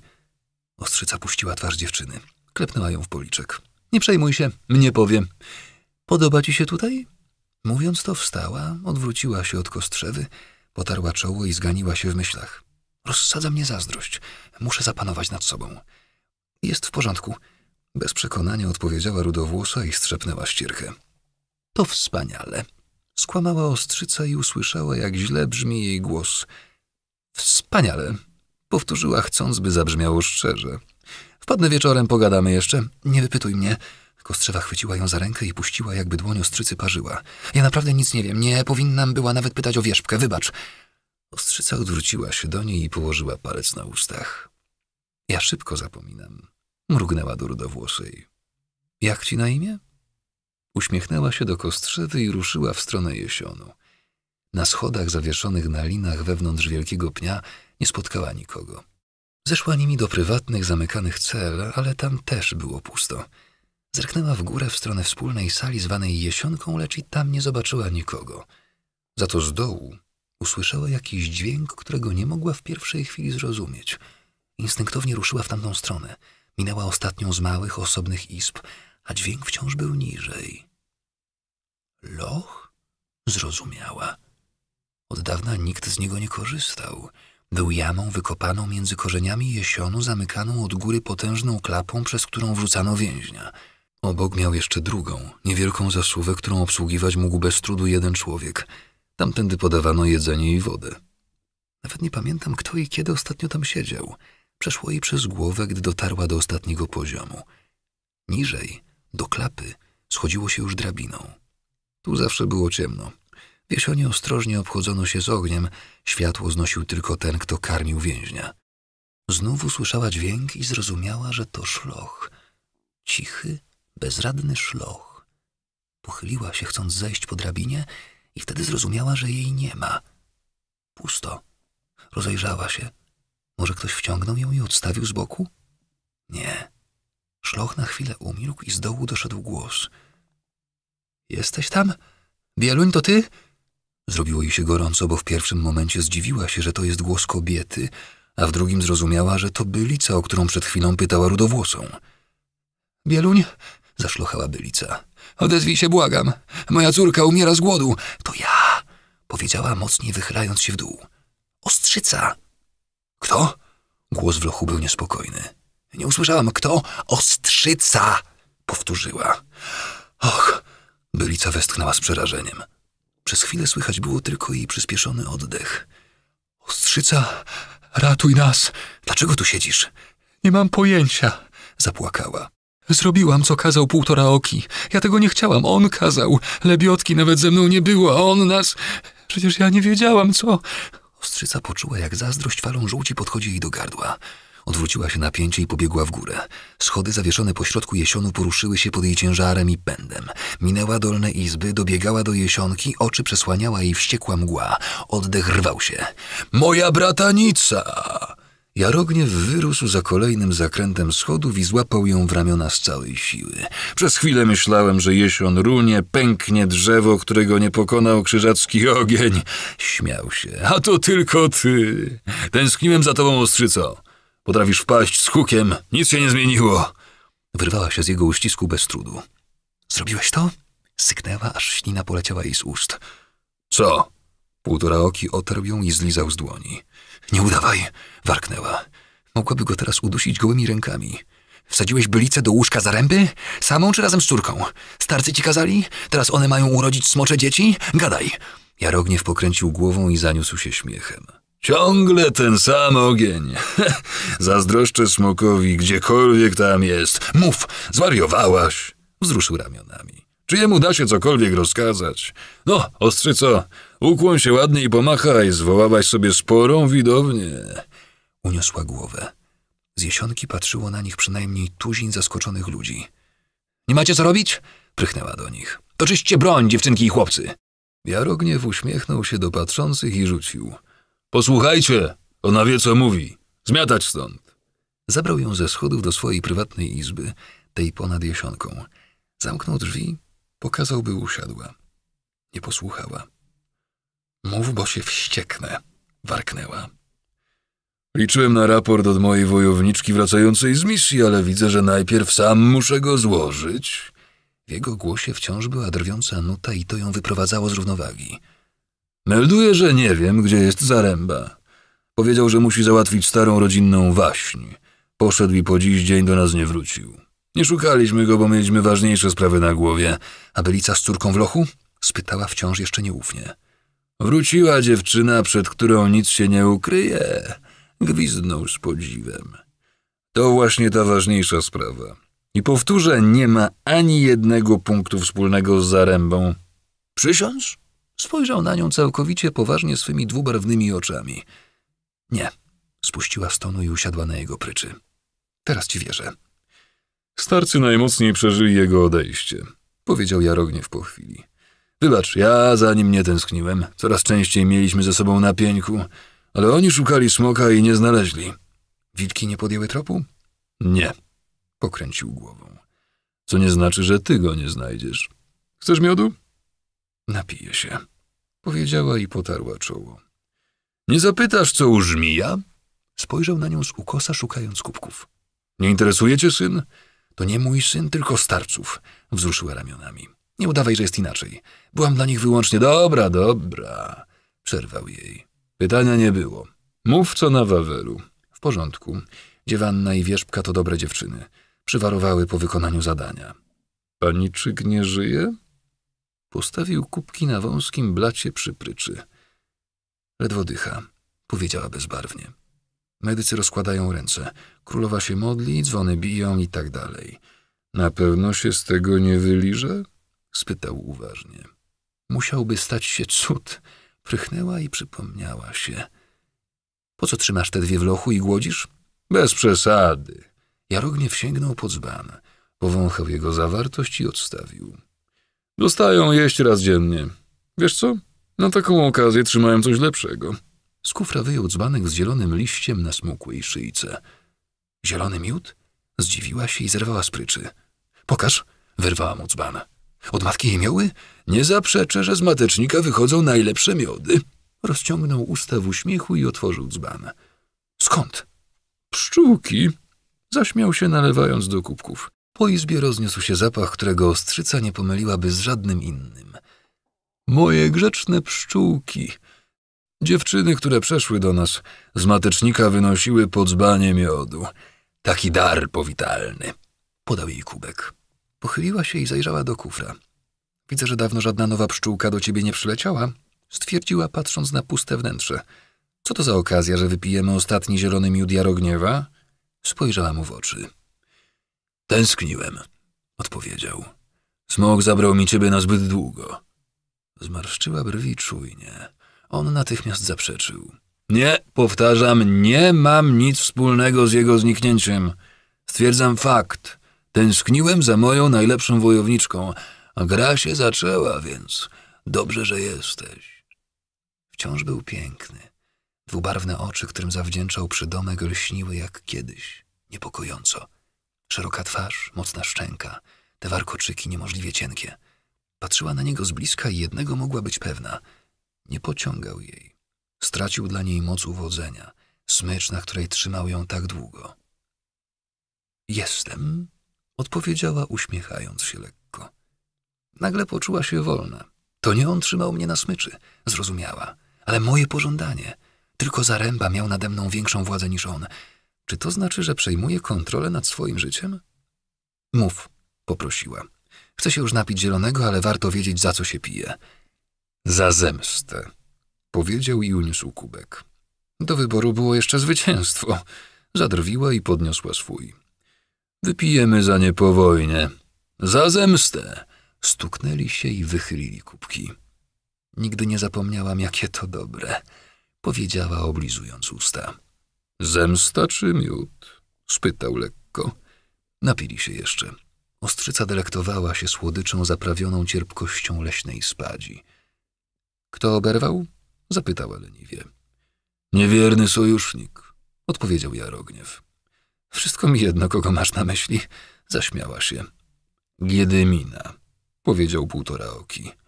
O, zrobiło się poważnie, zażartowała. A było tak słodko. Mogę się wyciągnąć? spytała, wskazując na jego prycze. Pewnie, po to cię ściągnąłem do prywatnej izby. Upiję cię, rozbiorę, zniewolę. Przysunął stołek spod ściany i usiadł bliżej. Nie zapomnij o nożu, który noszę w cholewce buta.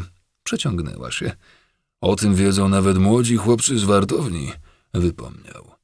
Ja pamiętam o ostrzu między twoimi piersiami, dwóch ukrytych w pasie i jednym na plecach. Nie starzejesz się półtora oki, pochwaliła go. Mów co z Giedyminem. Poruszył barkami. Warkoczyki rozsypały się po jego ramionach.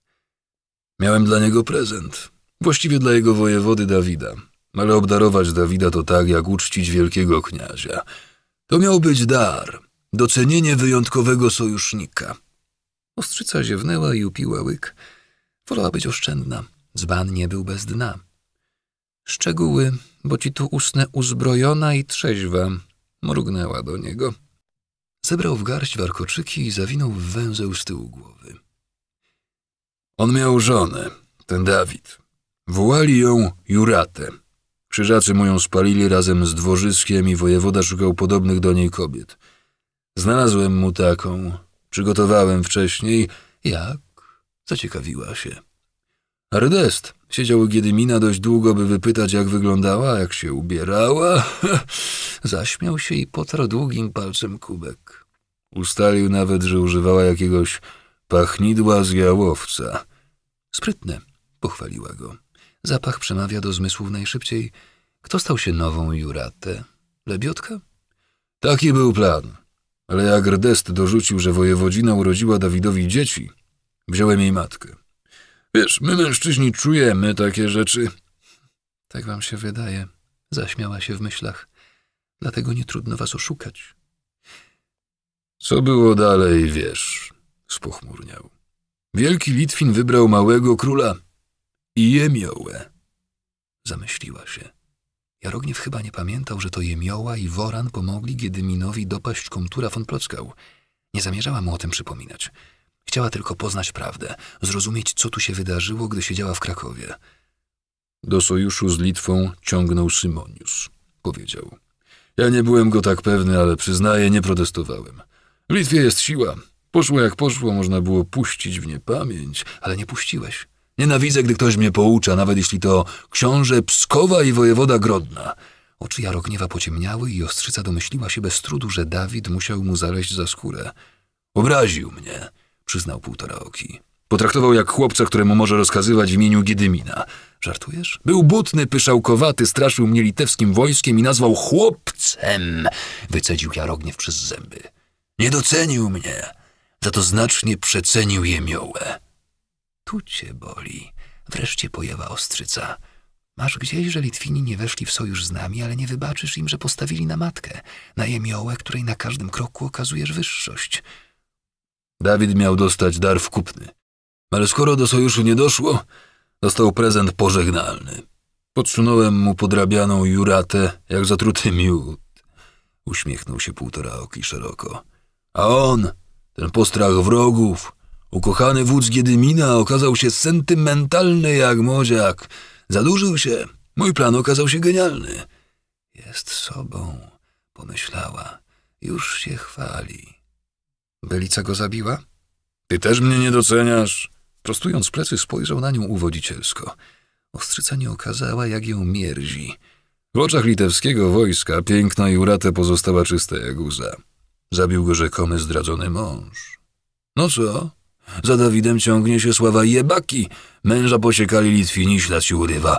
Motyw był, zabójca nie żyje, Giedymin płacze po druchu, a powtarzając sobie, dlaczego musiał zginąć, będzie pamiętał, że zdradzeni zawsze się mszczą. Dlaczego ją uwięziłeś? Żal ci ich? Jarogniew naprawdę się zdziwił. Nie, odpowiedziała twardo. To dziwki. Obie łaziły za zarębą, mam dobrą pamięć, ale dla ciebie, jak rozumiem, sprawiły się nieźle, więc ciekawi mnie, po co trzymasz je w lochu. Szczerze? spytał. Sam nie wiem. Chciałem im łby ukręcić, żeby zemsta pozostała doskonałą, ale najpierw musiałem je schować, a potem jakoś tak się złożyło. Rozłożył ręce, jakby mówił o zeszłorocznym śniegu. Słuchaj, może ty to zrobisz? Nie będę po tobie sprzątać. Wyprowadziła go z błędu. Dolej miodu. A poprosisz? Uwodził ją już nazbyt wyraźnie. Widziała, jak wpatruje się w jej piersi opięte skórzanym kaftanem. Miałeś tak wiele kobiet, że zapomniałeś, iż ta jedna nie prosi. Podjęła jego ton z premedytacją. Racja, rozpieściły mnie. Nozdrza mu drgnęły. Dawaj miód i kończ opowieść. Usiadła na pryczy, podwijając nogi. Zaśmiał się, dolał im obojgu i przysunął jeszcze bliżej. Położył rękę na cholewie jej wysokiego skórzanego buta. Ładne, pochwalił, przesuwając dłoń po nowiutkiej skórze. W tej drugiej uśmiechnęła się i pokazała ostrze, a potem czubkiem palca wsunęła je głębiej. Szelma! A zmrużył oczy nie mruknął. Jak tu cię nie lubić? Nie odpowiedziała. On zapytał głosem wciąż jeszcze roznamiętnionym. Widziałaś w Krakowie Grunhagena? Podnieca cię karzeł zielonooki? Zakpiła. Ciekawi, fuknął. To nie masz po co wybierać się na Wawel? Odpowiedziała bez złośliwości. Jest mały, ale raczej bym go przyuważyła. Przy okazji, co robi Symonius? Czaruje psy. Wiesz, które... Powiedział drwiąco. Jak dla mnie to bzdura, ale kto mu zabroni? Uparł się jak wtedy na sojusz z Giedyminem. Jarogniew objął długimi palcami kolano ostrzycy. Prześpię się i rano ruszę do Moren powiedziała. Chcę odwiedzić matkę. Nie spytasz dowódcy o zgodę? Zaczął gładzić jej kolano. Właśnie spytałam. Chwyciła go za rękę i wbiła mu palec w nadgarstek. On mocno złapał jej kolano i przysunął się do samej pryczy. Pochyliła się szybko i ugryzła go w usta. Jęknął i oblizał jej wargi. Odsunęła się i zaczęła unosić kolano, za które ją trzymał. Siłowali się chwilę, aż rozwarła nogi. Gdy mężczyzna mnie nie pociąga, robię się przekonująca, pomyślała, rozpinając pas. Jan Luksemburski potrzebował potężnej bombardy, by rozbić mury Wawelu. Ale machina wojenna ugrzęzła gdzieś po drodze, podczas gdy większość jego wojsk dawno przeszła góry, pokonała bramę morawską i wkroczyła na Śląsk. Póki był gościem swego lennika, księcia Opawskiego, był jak u siebie – lecz nie po to zwoływał wielkie czeskie wojsko, by poić je opawskim piwem. Jan żył w przyszłości.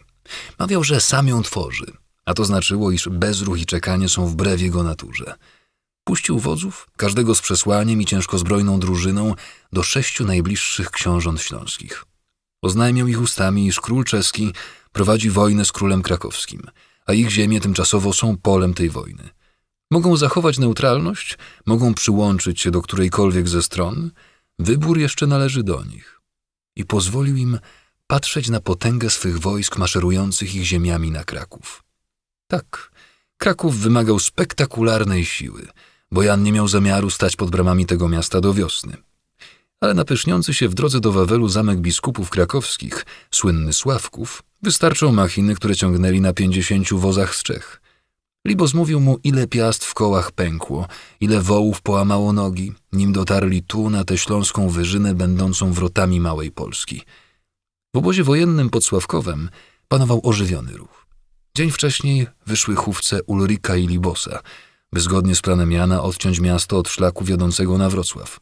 Równo z nimi, poniżej Sławkowa, przez Białą Przemszę przeprawił się Markwart i Chwal. Odcięli drogę na Kraków, gdyby Władysław chciał wysłać na pomoc swe wojsko. Od tej strony, od wschodu, ich naturalnym sprzymierzeńcem była rzeka, co wciąż jeszcze bawiło Jana Luksemburskiego. Biskupi krakowscy, właściciele zamku, budując go, myśleli o obronie przed książętami Krakowa. To ciekawy obraz Królestwa Polskiego. Biskupa Jana Grota nie ma w Sławkowie, zameldował Czabak. Obroną dowodzi jakiś stary krakusz, zaprawiony w bojach od czasów biskupa Muskaty. Walczył po jego stronie czy po stronie króla? Zaciekawił się Jan. Czabak zaśmiał się tubalnie i równie szybko zgasł. Mówią, że to człowiek łokietka. Jak liczna jest załoga? Nie udało nam się ustalić. Od tygodni ściągali do zamku żywność, opał i broń. Tyle wiemy. Ludność cywilną wyprawili do miasta. Zawarowali bramy i są gotowi bronić się do końca. Jan patrzył z niewielkiego wzniesienia na miasto leżące niczym barwna plama przy wijącym się trakcie łączącym Kraków i Wrocław. Zamek stał nieco niżej Sławkowa, zwarta kamienna budowla otoczona nowym murem obronnym, nie palisadą, nie obwałowaniem ziemnym. Murem, który okalała fosa i wał. Mała w porównaniu do miasta. Najważniejsza z punktu widzenia zwycięskiej wojny. Wypędzić ludność ze Sławkowa, rozkazał król. Zbrojnie przejąć kopalnię. Ustawić straże przy każdym z szybów i spalić podzamcze. Tak jest, Klepnął się po brzuszysko czabak i zaskakująco zwinnie, jak na takiego grubasa, wskoczył na siodło. Jan nie lubił dymu pożarów, swąd mierził go i podrażniał skłonne do łzawienia oczy. Zawrócił do obozu z Wilhelmem de Macho przy boku. Brudna strona wojny, powiedział poeta, odwracając wzrok. Od strony miasta już dały się słyszeć krzyki ludzi i przeraźliwy kwik prosiąt. Znasz czystą? spytał rozdrażniony tą uwagą Jan. Jego koń parsknął i rzucił łbem, jakby chciał odpędzić od siebie woń spalenizny. Triumfalne wjazdy zwycięzcy, prosty lud dziękujący za uwolnienie, płatki kwiatów rzucane pod kopyta jego wierzchowca. Jest zima. Zamknij się, warknął Jan. Nie martw się, królu, powiedział zupełnie trzeźwo poeta. Pergamin zapamięta tylko to, co ja mu powiem. Ma rację, opamiętał się Luksemburczyk, i spojrzał na Wilhelma tak, jak powinien patrzeć król. Oblężenie zaczęli nazajutrz. Po zgliszczach spalonych chad na podzamczu woły przeciągnęły w stronę fos osiem sporych winei. Wyglądały jak drewniane domy na niewielkich, ale mocnych kołach. Pod ich osłoną szli piechurzy Libosa, uzbrojeni w młotki, gwoździe i liny. Przy nich służba niosąca długie, grube, nieokorowane deski i kołki i ciury obozowe z cebrami wody – Rząd Winei stanął w jednej linii. Szybko wyprzężono woły, dwa padły z rykiem od strzał obrońców. Słudzy, osłaniając się dużymi tarczami, zepchnęli je do fosy, by nie przeszkadzały budowniczym. Jeden jeszcze żył, próbował się bronić wierzganiem. Dobiła go zabłąkana strzała. Bóg jeden wie, swoich czy obrońców. Potem Libo skrzyknął. Naraz! I znów pod osłony Winei wybiegli tarczownicy. Na dwa! Podnieśli tarcze, tworząc z nich spadzisty dach wokół boku Winei. Na trzy! Założyli ich krańce na zakład tak, że nie było w nim najmniejszej szpary. Na cztery! Głos Libosa potężniał z każdą komendą. Pod daszek starcz wybiegli piechurzy bez broni. Chwycili za liny zwisające wzdłuż całego boku Winei. Obrót! zawołał Libos Jan z podziwem zobaczył, jak piechurzy pod szczelną osłoną tarczowników przenoszą drewniane konstrukcje Winei i ustawiają jedna przy drugiej wzdłuż fos, tak że osiem konstrukcji połączyło się w jeden długi dom – Schowali się, gdy Libo skrzyknął Do środka! I znów tarczownicy osłaniali piechurów tak, że choć obrońcy Sławkowa strzelali do nich bez ustanku, żadna ze strzał nie dosięgła celu. Odbijały się od tarcz, wbijały w nie, ale ludzie pod spodem byli bezpieczni. Teraz wewnątrz Winei zbiją z desek pomosty, wyjaśnił królowi Ulrik. Uniosą klapy w ścianach i wysuną je, przerzucając przez fosy. To najtrudniejszy manewr. Trwa czasem godzinami, aż uda się dobrze zakotwiczyć pomost po przeciwnej stronie fosy. Ubezpiecz ich, powiedział Jan i wskazał na rząd machin gotowych do miotania kamieniami.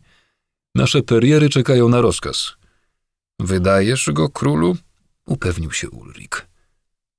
Tak, powiedział Jan i nie minęło wiele, gdy usłyszał znane mu z walk pod mecem skrzypienie. Czterech ludzi zawisło na czterech linach u końca machiny – Dwóch załadowało w skórzaną obręcz kamień. Wypuszczono go? Chybił. Z murów dało się słyszeć gwizdanie i wyzwiska. Ale w tym samym czasie cztery inne periery trafiły i gwizdy obrońców zamilkły, przykryte głuchym uderzeniem kamieni o zamkowe mury. Daleko lecą? powiedział zaskoczony poeta.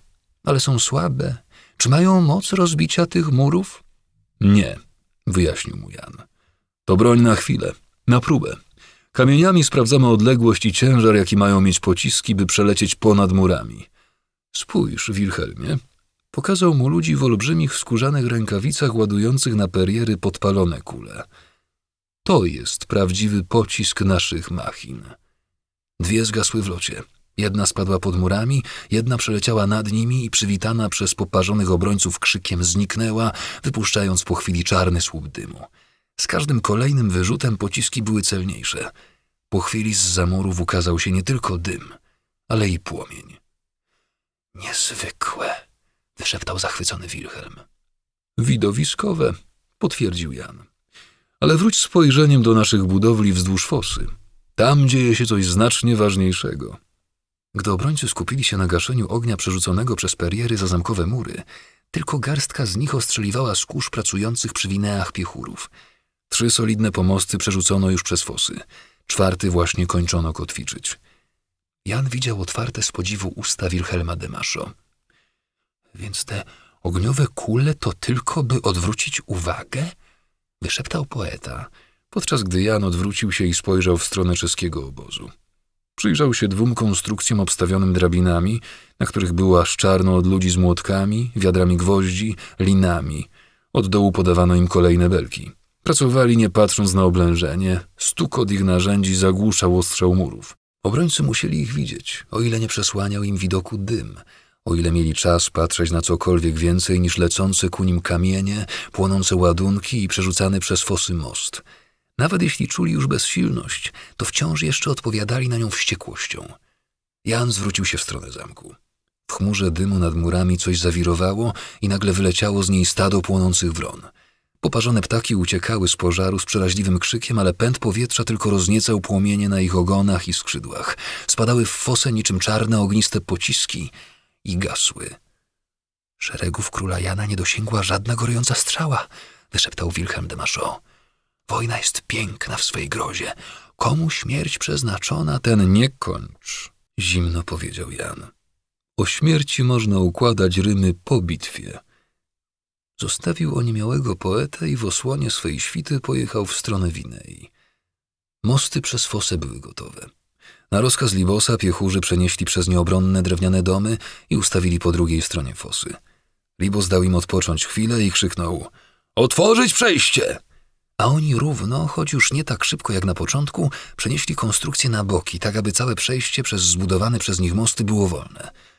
Obrońcy z potężnych kurz wałowych wypuścili płonące strzały w stronę Winei. Trafili, owszem, ale mostem już sunęły w stronę murów pluteje, wielkie tarcze na kołach osłaniające oddziały zbrojne. Piechurzy wydostali się z płonących domów i cofnęli, chroniąc pod tarczami plutei. W rękach tachali cebry z wodą. Polali płonącą konstrukcję.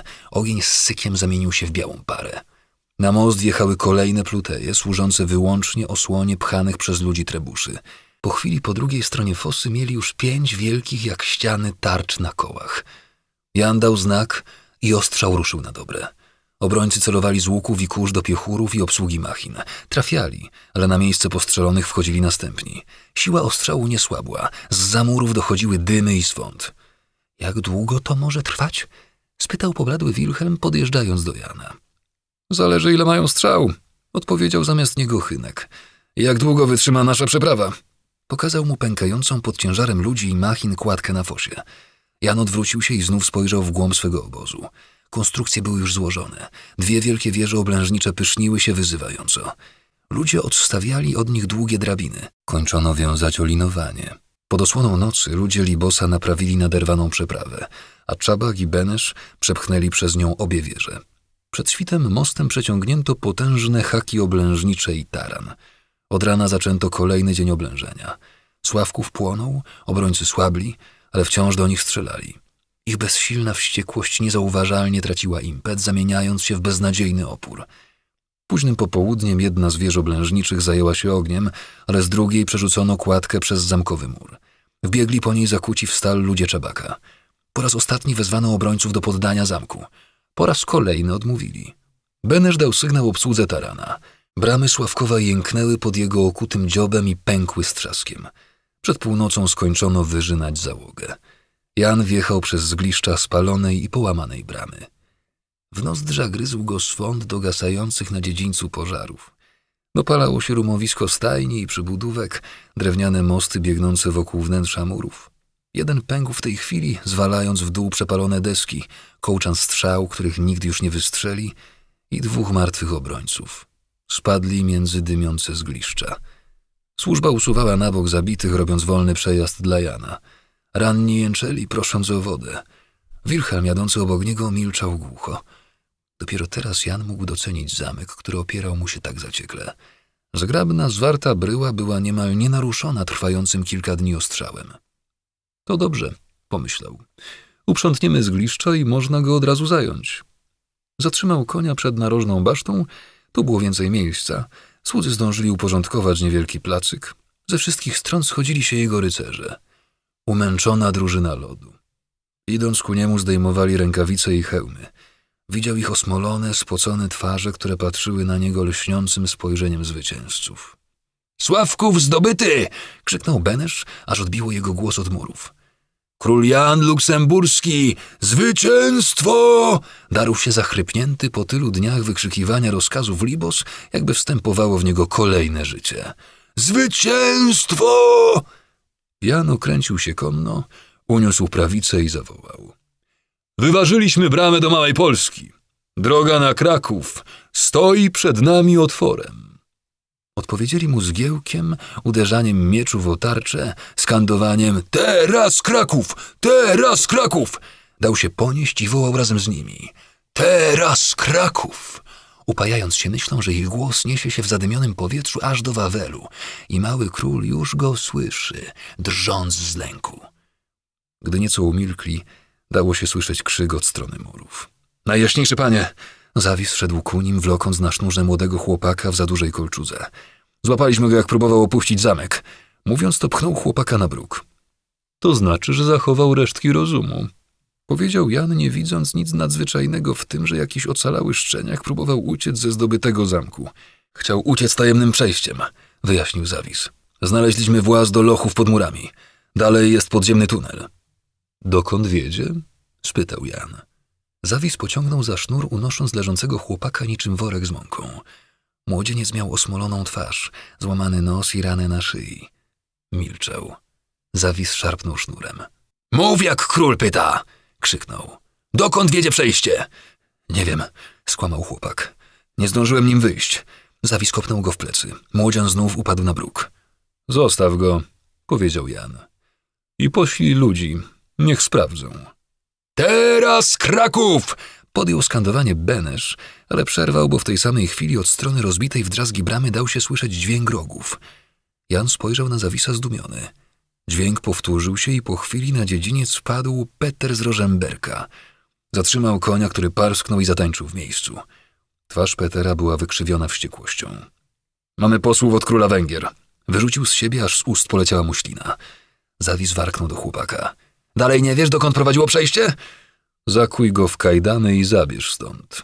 Polecił Jan i powiedział do Petera. Przyprowadź gości. Rycerze jego osobistej straży ustawili się konno wokół niego. Po chwili na dziedziniec wjechał niewielki orszak pod proporcem z liliami andegawenów. Jadący w pierwszym szeregu giermkowie zadali wrogi jednocześnie i rozjechali się na boki, przepuszczając przodem rycerza w napierśniku, który zdobiły trzy ptaki. Wilhelm Druget, żupan z Piszu! krzyknął Giermek. Wysłannik króla Karoberta do króla Jana Luksemburskiego. Druget, w lot zrozumiał Jan. Bratanek Palatyna Węgier. Karobert wysłał do mnie najwyższą ligę. Wysłannicy naszego przyjaciela, króla Węgier, są nam drodzy, powiedział przyglądając się Drugetowi. Niestety dopiero zdobyliśmy zamek i jeszcze nie mamy gdzie podjąć tak cennych gości. Dokończył Jan, sądując, czy Druget chce mówić w cztery oczy. To, co mamy do powiedzenia, można przekazać na dziedzińcu. Zimno odpowiedział Wilhelm Druget. Z orszaku za jego plecami wysunął się białowłosy młodzieniec. Jako jedyny był z gołą głową i nie miał na sobie zbroi, tylko lśniący głęboką czernią aksamitny kubrak. Na nim płaszcz podbity ciężkim, czarnym futrem. Ten dziwny czarny strój przykuwał wzrok, zwłaszcza, że na piersi młodzieńca pobłyskiwał ptak, taki sam jak w herbie Drugeta, tyle że złoty i pojedynczy. Krewny? pomyślał Jan. Syn? Niepodobny do niego. Niepodobny do nikogo. Mów proszę. Otrząsnął się i wrócił uwagą do Drugeta. Królka Robert przypomina ci, panie, umowę, jaką zawarliście w Trnawie, powiedział poseł. Nie zapomniałem o niej nawet na jeden dzień. Wymusił uśmiech Jan. Moja córka już uczy się węgierskiego, a w awiniońskiej kurii luksemburscy dyplomaci załatwiają dla naszych dzieci zgodę na małżeństwo.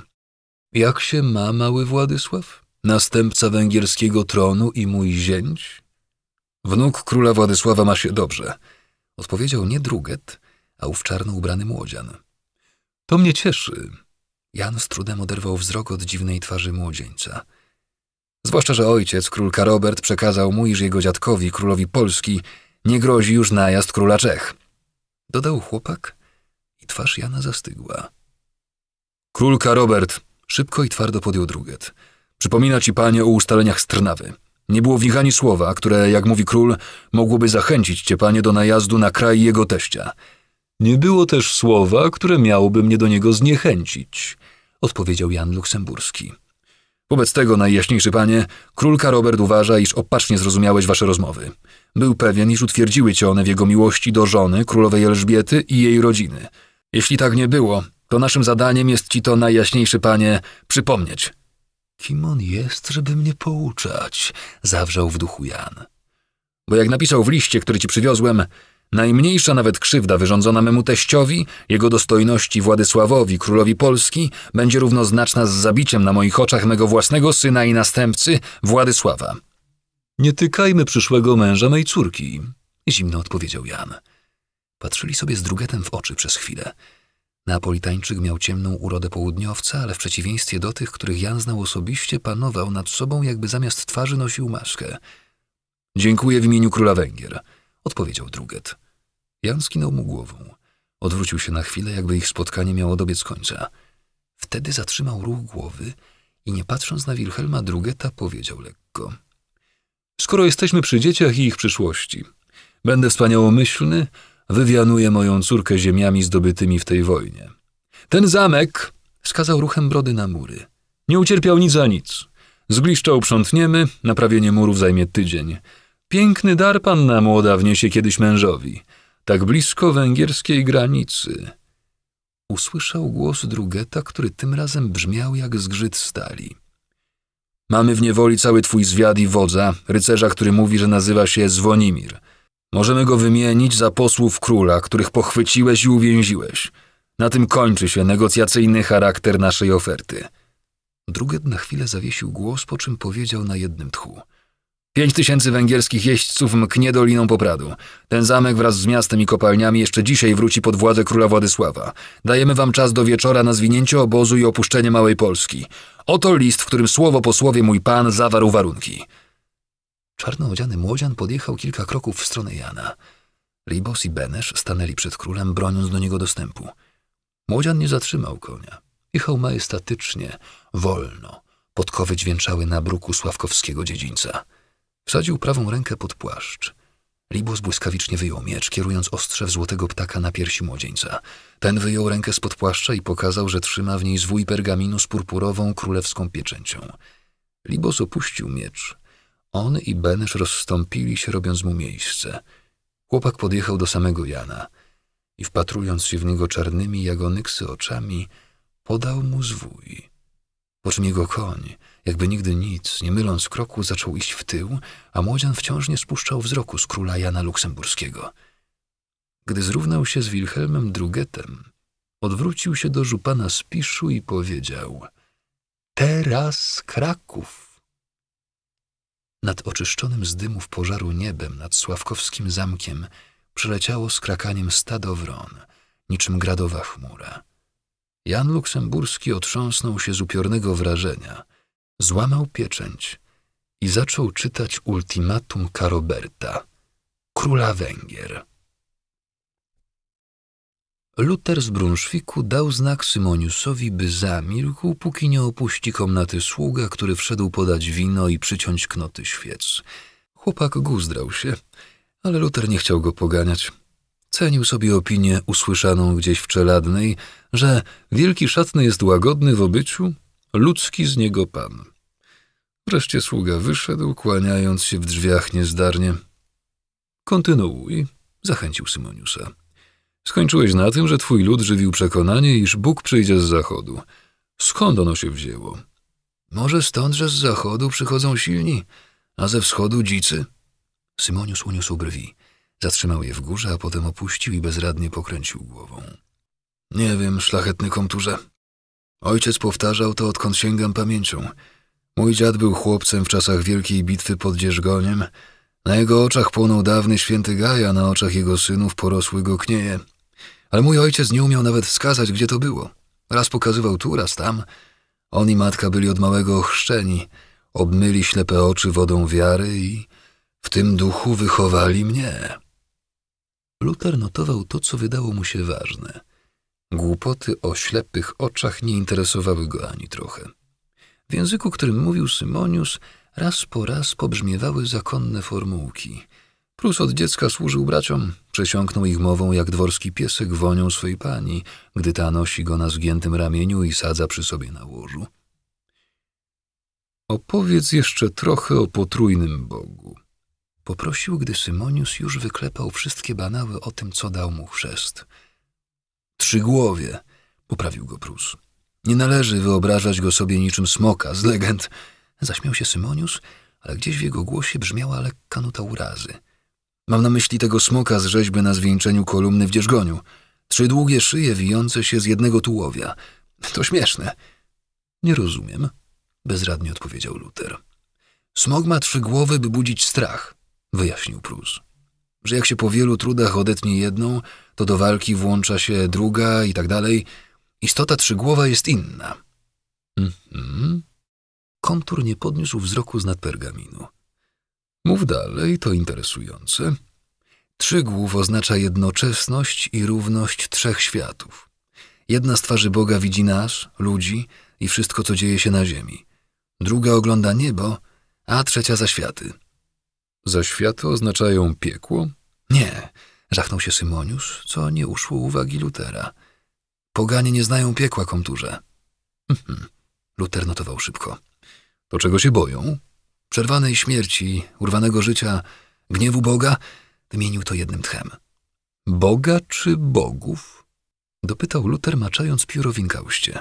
Bogów, poprawił się Symonius i nagle się zaśmiał. Wybacz, komturze, ale ja już nie umiem myśleć jak poganin. Myślę jak chrześcijanin, który mówi o poganach, nie rozumiejąc ich świata. Luter odłożył pióro i przyjrzał mu się uważnie. Prus odznaczał się wyrazistą urodą, ale trudno było uznać go za przystojnego. Miał trójkątną twarz, wyraźne kości policzkowe i długi, wystający podbródek, który podkreślały ciemne włosy przycięte równo tam, gdzie się kończył. Symonius rzadko patrzył mu w oczy, raczej umykał spojrzeniem w dół, co wydawało się jakąś formą pośrednią między pokorą a poczuciem niższości – od spuszczania wzroku miał wciąż półprzymknięte powieki, więc uwagę przykuwały jego brwi, dwie opadające ciemne linie, jakby nakreślone węglem. Teraz Luther dostrzegł, że na końcu każdej z nich, już na skroni, Symonius ma nieduże znamiona, jakby nieregularne kropki. Wiem, to trudne, pokiwał głową ze zrozumieniem. Ale postaraj się, Symoniusie. Twoje świadectwo jest cenne. A jeśli trapi cię lęk o swą duszę, Pomów ze spowiednikiem. Ojciec Anselm uspokoi cię. To, co robisz, przekazując mi wiedzę o tamtych czasach, nie jest dziełem szatańskim, lecz planem Bożym. Rozumiesz? Prus uniósł powieki i spojrzał w bok. Jego ciemne oczy były zagubione i smutne. Luther sam dolał mu wina, bo bał się, że Symonius nic więcej nie powie. Napili się, gawędząc o świeżych planach, zwłaszcza warsztacie produkującym machiny miotające, który po naciskach Lutera w Malborku powstał koło Dzierżgonia. Będzie największy w państwie zakonnym, pochwalił się komtur. I lepszy niż te w Turyngii. Miał jeszcze dodać, że zaczną w nim składać nowe typy trebuszy, ale się powstrzymał, bo Prusowi rozwiązał się język, a on wolał łagodnie wrócić do interesującego go tematu. Wiesz, ciągle zastanawiam się, jak wiara w Trzygłowa dotarła na ziemię pruskie. Pamiętasz, ostatnio opowiadałeś mi o Welionisie, o Perkunie albo i tej pięknej bogini poranka Auszrinę. Wszystko to bożki, które czci się na Litwie, które, jak mówiłeś, czcili Prusowie, nim bracia zakonni przybyli na tę ziemię i przynieśli światło Chrystusa. Czytałem w relacji świętego Ottona z Bambergu, że Trzygłowa czciły ludy za Odrą nad Łabą Słynni redarowie, wojowniczy wielici i mieszkańcy Wolina, ba, nawet Szczecina. Czy to jacyś pogańscy misjonarze przynieśli tu do Prus wiarę w Trzygłowa? To był tylko jeden misjonarz, święty Wojciech. Adalbert, odpowiedział Symonius i Luter wyczuł w jego głosie tę twardą nutę, która go tak intrygowała. Trzygłów jest Bogiem zwycięzców. Trzy oblicza przenikają w jednej chwili, co jest, co będzie, co było. Przyprowadzili go starcy, gdy tutejsi bogowie okazali się tak łatwopalni. Łatwopalni, powtórzył w myślach Luter i zanotował to na marginesie. Symonius zyskuje na wartości, gdy mówi własnymi słowami, a nie powtarza zakonne gadki. Rozsypali się w popiół. Pogardliwie dorzucił Prus i zajrzał do kubka. Luter dolał mu wina i podpowiedział. A silni zawsze przychodzą z zachodu. Tak, zapalił się Symonius i opamiętał. Jak zakon Najświętszej Marii Panny, dodał i z pokorą dotknął kościanej rękojeści noża z wyobrażeniem Maryi. Przy okazji świętego Wojciecha, Luter przypomniał sobie, że dawno miał spytać. Nie wiesz o jakichś artefaktach związanych z męczennikiem? O czym? Nie zrozumiał Symonius. Przepraszam, pierwszy raz słyszę takie słowo. O artefaktach. Z satysfakcją powtórzył Luter i wyjaśnił. Przedmiotach, które do niego należały. Ciało wykupił książę Bolesław, ale przecież wojowniczy Prusowie, nim zabili biskupa, coś tam sobie mogli zostawić na pamiątkę. Symonius zamyślił się i powiedział po chwili. Mój dziad mówił o lasce pasterskiej, takiej zakrzywionej. O pastorale, poprawił go Luter. Możliwe. Ponoć zakończona była spiralą z kości. Dziad powtarzał po tych, co ją widzieli, że to miało krzyżyk na końcu, było rzeźbione i ponoć ładnej roboty – Loter poczuł łaskotanie w czubkach palców. Co się z tym stało? Po chrzcie oddali jakiemuś biskupowi. Któremu? Nie wiem, komturze. Rozłożył ręce Symoniusz. Dziada ochrzczono po tej słynnej wielkiej bitwie pod Dzierżgoniem. Prawie osiemdziesiąt lat temu. Do wyboru byłoby trzech, rozważył szybko Luter. Włocławski, Chełmiński, może Płocki. Biskupstwo pruskie poszło w pył, więc się nie liczy. Płocku dzisiaj mamy Floriana, w hełmie Ottona. Jeden i drugi nasi ludzie. Sprawdzimy ich bez trudu. Włocławek nie współpracuje. Biskup Maciej to człowiek polskiego króla. Trzeba znaleźć sposób, by się do niego dobrać, o ile ma w skarbcu ten pastorał, bo jako biskup nigdy się taką relikwią nie chwalił. A może nie wie, że go ma? Luter upił łyk wina w zamyśleniu i wrócił do przepytywania Prusa. Ilu jest starców? Według legend trzech, odpowiedział Symonius. Jak trzy oblicza Boga, zanotował Luter. Prus nie zaprzeczył. Co mówią o nich legendy? Siwobrodzi, siwowłosi, silni, wysocy, piękni, choć groźni. Zauważyłeś, że w legendach wszyscy są albo piękni, albo odrażający? spytał Luter. O nijakich nikt nie śpiewa pieśni. Symonius zaśmiał się cicho. Komtur mu zawtórował, jakby połączył ich wspólny żart. W co byli ubrani? Kontynuował pracę. Skąd mam wiedzieć? Zdziwił się Bruce. Z legendy uśmiechnął się Luter zachęcająco. W powłóczyste szaty. Szkoda, pokręcił głową. To takie nierzeczywiste i ciężko chadzać po świętych gajach w czymś, co się wlecze, ciągnie i zahacza o każdy krzak. Szkoda, że nie przetrwała pamięć, jak naprawdę wyglądali. Popytam, obiecał Symonius. Wcześniej mnie to nie ciekawiło. To zrozumiałe. Pokiwał głową i odznaczył w tekście. Zostawiam tu wolne miejsce. Może uda się sporządzić jakąś miniaturę, choć ze mnie marny rysownik, ale tak dla potomnych, żeby choć trochę wiedzieli. Chronika Slavorum Helmolda ma już ze 150 lat, a wciąż przepisuje się ją po klasztorach, bo póki co nie ma lepszego dzieła o obyczajach Słowian. A gdzie księga o Prusach? Brakuje takiej. Świadectwo o naszych czasach musi przetrwać wieki. Prawda, Symoniusie? A kto to będzie czytał? Za dwieście, trzysta lat młodzi bracia zakonni już mogą nie wiedzieć, skąd się tutaj wzięliśmy. Cierpliwie wyjaśnił mu Luter. Wszędzie wokół będą tylko pola uprawne, stawy rybne, drogi łączące gród z grodem, wieś z wsią, a w każdej wiosce murowany kościół z krzyżem. Wtedy nie będzie już tutaj zakonu, zaśmiał się głęboko Symonius. W końcu przeznaczeniem braci jest walka z pogaństwem i szerzenie wiary. Skoro nie będzie pogaństwa, a w każdej wsi kościół, Luter zamarł na chwilę. Potem roześmiał się, pokręcił głową i wypił wino naraz. Mój ty marzycielu, powiedział do Symoniusa. Zawsze będą Litwini, Żmudzini i jakieś kolejne wschodnie ludy. Sam mówiłeś, że dzicy idą ze wschodu. No, dość na dzisiaj. Czekają na mnie dokumenty z Malborka. Mam wyjść? Usłużnie domyślił się Prus. Luther skinął głową i odprowadził go wzrokiem do drzwi. Gdy się za nim zamknęły, zaczął pisać tak szybko, że złamał pióro. Jemioła nie miała złudzeń. Kazimierza w okowach śmierci trzymała magia starej krwi. Nie mogła i nie chciała mówić o tym wprost z Janisławem, tym bardziej z królem, bo co im powie? Że ich syn umiera od broni, którą ona sama mogłaby władać, gdyby tylko miała w sobie tyle bezwzględności, by zechcieć jej użyć? Nie zrozumieją. To na nic. Ilekroć o tym myślała, w jej wyobraźni płonął stos. To, że przez kolejny tydzień utrzymuje go przy kruchym, ale jednak życiu, kosztuje ją tak wiele, że każdego ranka z trudem podnosi się z ławy, na której czuwa przy jego łożu. Przywrócenie sobie równego oddechu wymaga od niej coraz dłuższej chwili. Dodanie sił, by działać, jest już niemożliwe bez odwarów, którymi do tej pory leczyła najciężej rannych. Musiała coś wymyślić, coś, co być może było blisko, a na co jeszcze nie wpadła, i zrobić to szybko, zanim walka o życie Kazimierza zabije ją. Przepytała służbę. Na trop wierzbki idzie wanny wpadła szybko, zwłaszcza, że dziewczyny nie zmieniły nawet imion. Wysoka, ciemnowłosa, robotna, młoda, nie, w średnim wieku, ale nie stara. Ta druga, młodziutka dziewuszka, drobniutka, wesoła, jasna. Tego, że zniknęły wkrótce potem, jak syn królewski zachorował, nikt z jego stanem nie skojarzył. Najjaśniejszego pana otoczono opieką znaczyło tyle, że w jego komnatach zaroiło się od służby medyków, którzy go leczyli.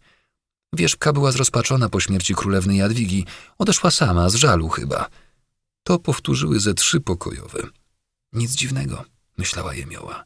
Nikt nie lubi popełniać śmiertelnych błędów. Najbardziej zastanawiało ją przywiązanie, jakim obdarzono na Wawelu obie dziewczyny.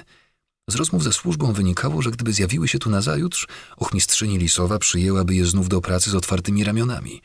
I, co ją zaniepokoiło, że plotkary podejrzeniem o chorobę Kazimierza prędzej obarczą jego litewską żonę niż dziewannę i wierzbkę. Jednocześnie Jemioła wiedziała, że nie może wydać imion winowajczyń. Krąg tajemnic zaciskał się niepokojąco. Jestem tu sama, pomyślała bezradnie. A twoje siostry są samotne w mateczniku, odezwała się w jej głowie dębina. Nie ma na co czekać. Zrób to. Król zrobi co trzeba? spytała dawnej matki. Skąd mam wiedzieć? odpowiedziała pytaniem dębina. Nie siedzę w jego głowie, tylko w twojej. Zaśmiała się czule. Nie urodzisz dziecka bez rozlewu krwi. Co mówisz? Nie zrozumiała jej jemioła. W cudzie narodzin bierze udział krew, uściśliła dębina. Ulecz go. Już wiesz, jak to zrobić. I jeszcze jedno. Głos dębiny dobiegał z daleka. Trzeba było się wsłuchać, by go dobrze słyszeć. Powinnaś odnaleźć wierzbkę.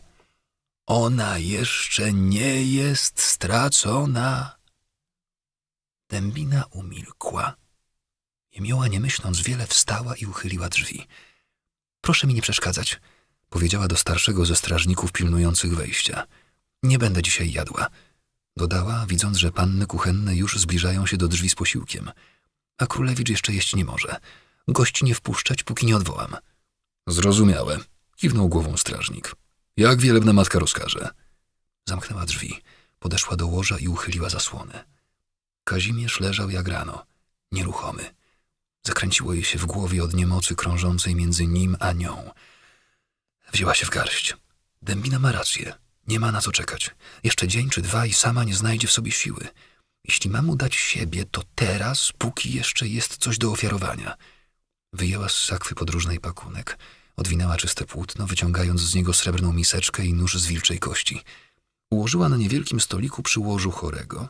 Przesunęła krucyfiks, by zrobić więcej miejsca – przez chwilę myślała, czy nie zasłonić figury ukrzyżowanego, ale się rozmyśliła.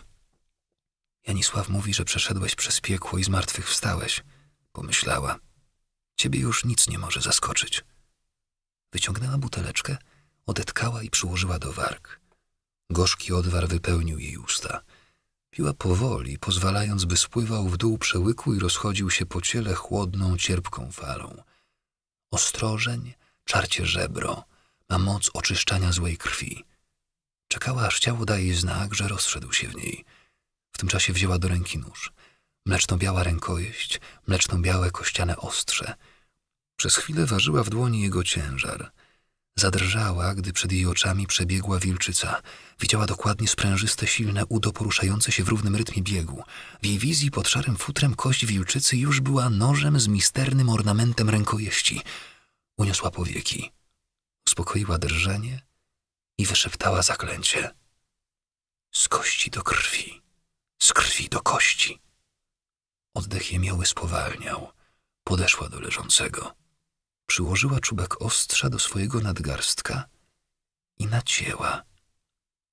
Dzielę się życiem, nie losem, szepnęła. Pierwsza kropla jej krwi była gęsta, jakby zastygła, gdy tylko opuściła jej ciało. Nie popłynęła, trzymała się otwartej żywy jak jakiś klejnot na nadgarstku. Dzielę się. Powtórzyła i nacięła się głębiej. Krew popłynęła wreszcie. Jemioła przyłożyła nadgarstek do ust Kazimierza. Nie drgnęły. Pij, chłopcze, poprosiła, podstawiając pod jego brodę srebrną miseczkę. Nie marnuj mojej krwi. Ciężka rubinowa kropla wolno toczyła się po jego wardze i już miała oderwać się od niej i skapnąć do naczynka, gdy usta Kazimierza drgnęły, wsysając ją do wnętrza. Jemioła mocniej przycisnęła nadgarstek do jego warg i jej krew zaczęła spływać wprost do jego ust. Oddychała powoli, by krew nie płynęła zbyt szybko, a królewicz nie zadławił się nią. Przełykał z trudem, ale miarowo. Raz liczyła w myślach, dwa, trzy, cztery, zaszumiało jej w głowie, pięć, sześć, aż obraz Kazimierza, wielkiego łoża z baldachimem i kotarami rozmazał się. Jesteś w moich rękach, pomyślała całkiem trzeźwo. Swoją krwią spłacam dawne czyny. Niejednego piasta pozbawiłam płodności, ale nigdy nikogo nie zabiłam magią, dlatego być może moja krew zwróci ci życie. Kazimierz przełykał coraz szybciej i szybciej. Nie nadążała liczyć. Oddech zaczął jej się rwać. Gdzieś w głębi wawelskich komnat usłyszała kobiecy krzyk, po chwili tu pod nóg, który dobiegał z góry, z boków i wreszcie z dołu, jakby wokół łoża Kazimierza biegały dzieci. To niemożliwe, pomyślała. Kręci mi się w głowie od utraty krwi. Poprawiła się w myślach od podarowanej krwi. Do jej świadomości próbowała dobić jakaś uporczywa myśl, ale jemioła, choć wysilała się, nie umiała jej uchwycić. Wydawało jej się, że jest w lesie, biegnie kolumnadą drzew w pałacu natury i zagląda za każde z nich, szukając odpowiedzi. Matka? Nie. Macierz? Nie. Wybiegła. Skręciła koło źródła wody żywej. Krople opryskały ją. Matecznik? Nie. Już była blisko, czuła to i na pewno kończyły jej się siły. Macierznik? Gwałtownie odsunęła rękę od ust Kazimierza. On uniósł głowę z poduszki, choć nie otworzył oczu, jakby nie chciał się odłączyć od jej krwi. Wargi mu drżały. Ostatnia kropla wprost z jej nadgarstka skapnęła do srebrnego naczynka. Oddała mu ją, wypił chciwie i opadł na poduszkę. Jemioła z trudem przełykała ślinę. W gardle jej zaschło. Owinęła rękę czystym płótnem, ale rozcięta żyła nie krwawiła ani trochę. Dała radę jeszcze zgarnąć kościany nóż i miseczkę, schować je do sakwy. Dysząc ciężko, opadła na krzesło przy łożu. Sięgnęła po wodę. Piła wprost z dzbana. Chciwie, aż krople płynęły jej po brodzie, moczyły suknie na piersiach. Odstawiła dzban i straciła przytomność. Nie śniło jej się nic. Gdy się obudziła, jej oddech był płytki, ale równy. Serce biło ciężko, lecz miarowo. Powoli otworzyła oczy. Jaka jest pora dnia? Wokół pełgało łagodne światło świec. Pachniał nagrzany wosk. Leżała na ławie z poduszką pod głową, przykryta kocem. Zamrugała. Próbowała wstać. Nie wstawaj, usłyszała kobiecy głos. Odpoczywaj. Nie posłuchała. Uniosła się, usiadła. Na krześle przy łożu Kazimierza siedziała siwowłosa, drobna kobieta. Kim jesteś? spytała jemioła. Prosiłam straży, by nikogo nie wpuszczały. Jestem matką, uśmiechnęła się lekko kobieta. Straże musiały przede mną skapitulować. Jemioła zerwała się, odepchnęła koc, wstała, zachwiała się, przytrzymała ściany. Najjaśniejsza pani próbowała się ukłonić, ale królowa zatrzymała ją stanowczym ruchem dłoni i powiedziała poważnie — Kobieta, która leczy mojego syna, nie będzie się przede mną kłaniać. Usiądź, proszę. Da Bóg, ja kiedyś pokłonię się przed tobą. Jemioła siadła ciężko. Potarła czoło i zobaczyła, że ktoś jej zmienił opatrunek na nadgarstku. Spojrzała niepewnie na królową. Ta powiedziała — Rozmawiałam z Janisławem. Wyjaśnił mi, kim jesteś. Nie wiem, czy wszystko pojęłam, ale jakie to ma znaczenie jemioło, skoro mój syn dzięki tobie odzyskał rumieńce? Jemioła powoli, by znów nie zakręciło jej się w głowie, wstała i podeszła do łoża. Musiała przysiąść na jego skraju. Twarz Kazimierza utraciła trupią bladość, a jego pierś unosiła się w miarowym, widocznym gołym okiem oddechu. Życie jest cudem, powiedziała królowa. Wzruszenie zabrzmiało w jej głosie. Każda z nas czuje to najmocniej w momencie, gdy rodzi. Prawda, jemioło? Nie rodziłam, wyszeptała jemioła. Wszystko przed tobą. Poczujesz kiedyś, że wtedy, gdy wydajemy na świat nowe życie, same najbliżej jesteśmy śmierci. Właśnie balansuje na jej granicy, przemknęło przez głowę jemiole. Królowa wyczuła jej słabość i podała kubek.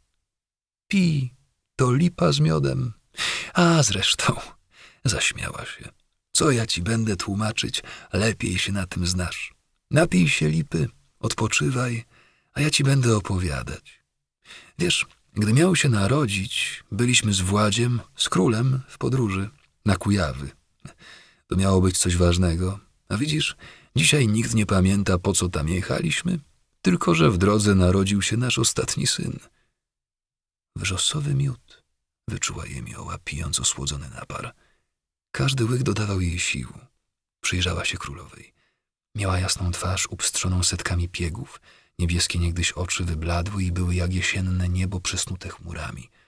Sztywny pasek podwiki unosił jej podbródek, ujmując go niczym gorset. To on czynił jej twarz surową i dostojną. Wbrew temu wrażeniu mówiła łagodnie, jak matka, a nie pierwsza w królestwie pani. Poruszała przy tym złożonymi na podołku dłońmi. Miała tylko jeden pierścień z niedużą perłą i gdy ruszała palcami, perła połyskiwała mleczną barwą. Byłam już w latach takie niespodziewane błogosławieństwo. Mój Boże, uśmiechnęła się do własnych słów. Pomyślałam, jak ja mam go urodzić w podróży?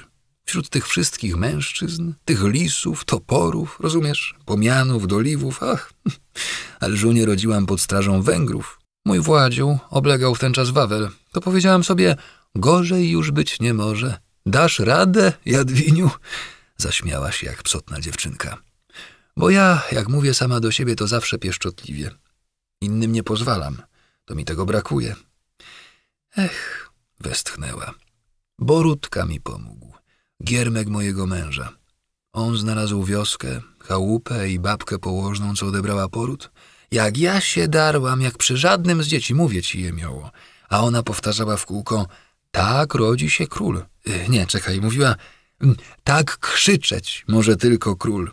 Sprawiła się, jak żaden z dworskich medyków. Szast prast, czyściutko wszystko pomyła, powycierała, macierznik zabrała, ani kropelki krwi. Macierznik. Jemioła odnalazła to, czego szukała we śnie. Gdzie jest twój macierznik, królowo? Bo ja wiem. Jadwiga całym ciałem zwróciła się w jej stronę. Ta babka położna zabrała łożysko, gdzieś wyniosła. Nigdy się nad tym nie zastanawiałam. Trzymałam w ramionach jego, zdrowego syna. To był cud. Zapłaciłaś jej, wyszeptała jemioła. Właśnie nie, pokręciła głową Jadwiga. Nie chciała ani grosza. Powiedziała, że kiedyś wróci po zapłatę. Spojrzały na siebie gwałtownie. Jemioła pojęła to chwilę temu. Do królowej dotarło w tym momencie, aż dłonią zakryła usta. Perła na jej palcu zalśniła jak łza. Nie, wyszeptała przerażona Jadwiga. Tylko nie to. Co jeszcze? Pomyślała z trwogą jemioła. Co jeszcze zawzięło się na życie tego chłopca? Przypomnij sobie pani, poprosiła królową. Co jeszcze pamiętasz? Jasna twarz Jadwigi pobladła tak bardzo, jakby odpłynęła z niej cała krew. Poruszała oczami, chcąc przywołać wspomnienia. Moje dwórki zasnęły, powiedziała. Najświętsza Matko Niepokalana Maryjo, tak było. Widziałam, jak stoją w izbie, patrzyłam na nie i myślałam, trzy śniące i mnie samą morzył jakby sen, mimo bólu porodu? Trzeźwo zapytała Jemioła. Ja chyba wtedy nie czułam bólu. Słowa wypływały z ust Jadwigi powoli, jakby przypominała sobie tamten dzień po raz pierwszy. Wcześniej powiedziałaś pani, że krzyczałaś, przypomniała jej. Ale nie w czasie rodzenia. Wspomnienie dotarło do Jadwigi. Zanim babka weszła, wtedy krzyczałam. Ona cię uspokoiła? Nie jestem pewna. Chyba. Jadwiga uniosła szczupłą dłoń do czoła, przymknęła oczy i mówiła dalej. Potem powiedziała, zabiorę macierznik i na szczęście zakopię. Ja jej rzekłam, proś o co zechcesz, sprowadziłaś na świat książęcego syna, a ona na to, nie, ja króla sprowadziłam. Była z ciebie dumna. Dzisiaj nic nie chcę, powiedziała, ale kto wie, może jutro. Wtedy nic nie wzięła. Wyszeptała przygnębiona jemioła. Wróci po zapłatę. Nie! krzyknęła cicho królowa. Czekaj, wzięła dukata, tylko jednego, ale wzięła. To dobrze? Lepiej, pomyślała na głos jemioła. Nie będzie mogła mówić, że on jej... Co? Że mój syn do niej należy? W głosie królowej zabrzmiała groźba. Przestraszona jeszcze przed chwilą kobieta wstała gwałtownie z krzesła. W tym samym momencie na dziedzińcu rozegrały się rogi, a rozszczekały psy. Nigdy, z mocą powiedziała królowa Jadwiga. Nigdy nie pozwolę, by jakakolwiek kobieta zabrała mego syna, nawet jeśli pomogła mi przed laty sprowadzić go na świat. Muszę się dowiedzieć, co zrobiła z twoim macierznikiem, królowo. Od pokoleń matki strzegły pępowiny i łożyska jak oka w głowie, wyjaśniła jemioła. By nie dać złym mocom dostępu do tej tajemnej nici łączącej rodzącą z dzieckiem. Myślałam, że to przesąd, odpowiedziała Jadwiga, a w jej głosie zamiast mocy znów zabrzmiał lęk. Zabobon, mego syna strzegła moc chrztu i, i nie ustrzegła powiedziała jemioła. Nie mów tak, nie wolno, zaprzeczyła sobie królowa. Bóg słyszy, Bóg wie, gdzie znaleźć tę kobietę, tę babkę położną. Obeszła jej słowa jemioła. Pojęcia nie mam. Wieś nazywała się Kowal. Nagle oczy królowej się ożywiły. Borutka będzie wiedział. On ją wtedy wytrzasnął z podziemi. Oby nie z podziemi. Z trwogą pomyślała jemioła, a na twarzy królowej dostrzegła, iż do pobożnej pani dopiero teraz dociera sens jej własnych słów – gdzie ten Borutka? spytała szybko. Słyszysz? Grają rogi. Twarz królowej rozjaśniła się w uśmiechu. Nie mamy czasu, pani. Gdzie Borutka? powtórzyła zniecierpliwiona jemioła. Przecież mówię, odpowiedziała królowa Jadwiga, jakby to była sprawa oczywista. On zawsze zjawia się, gdy jest potrzebny. Wjeżdża na Wawel w otoczeniu węgierskiego chówca. Władysław oddychał łapczywie jak pływak, który cudem dopłynął do brzegu, jak skazaniec, co uciekł katu spod topora, jak król, który w ostatniej chwili ocalił królestwo. Sława memu zięciowi, królowi Węgier, Karobertowi Andegaweńskiemu. Wznosił trzeci raz ten sam toast. Chwała mu! Gromko odpowiedzieli zgromadzeni w zamienionej na salę biesiadną wielkiej komnacie koronacyjnej – przy rozstawionych na prędce w podkowe stołach gościł pięćdziesiątek węgierskich wodzów, ich zwierzchnika Wilhelma Drugeta, arcybiskupa Janisława i drugie tyle pierwszych panów królestwa. Kazał otworzyć wawelskie piwnice. Niekończący się korowód służby niósł dziesiątki dzbanów najprzedniejszych miodów pitnych.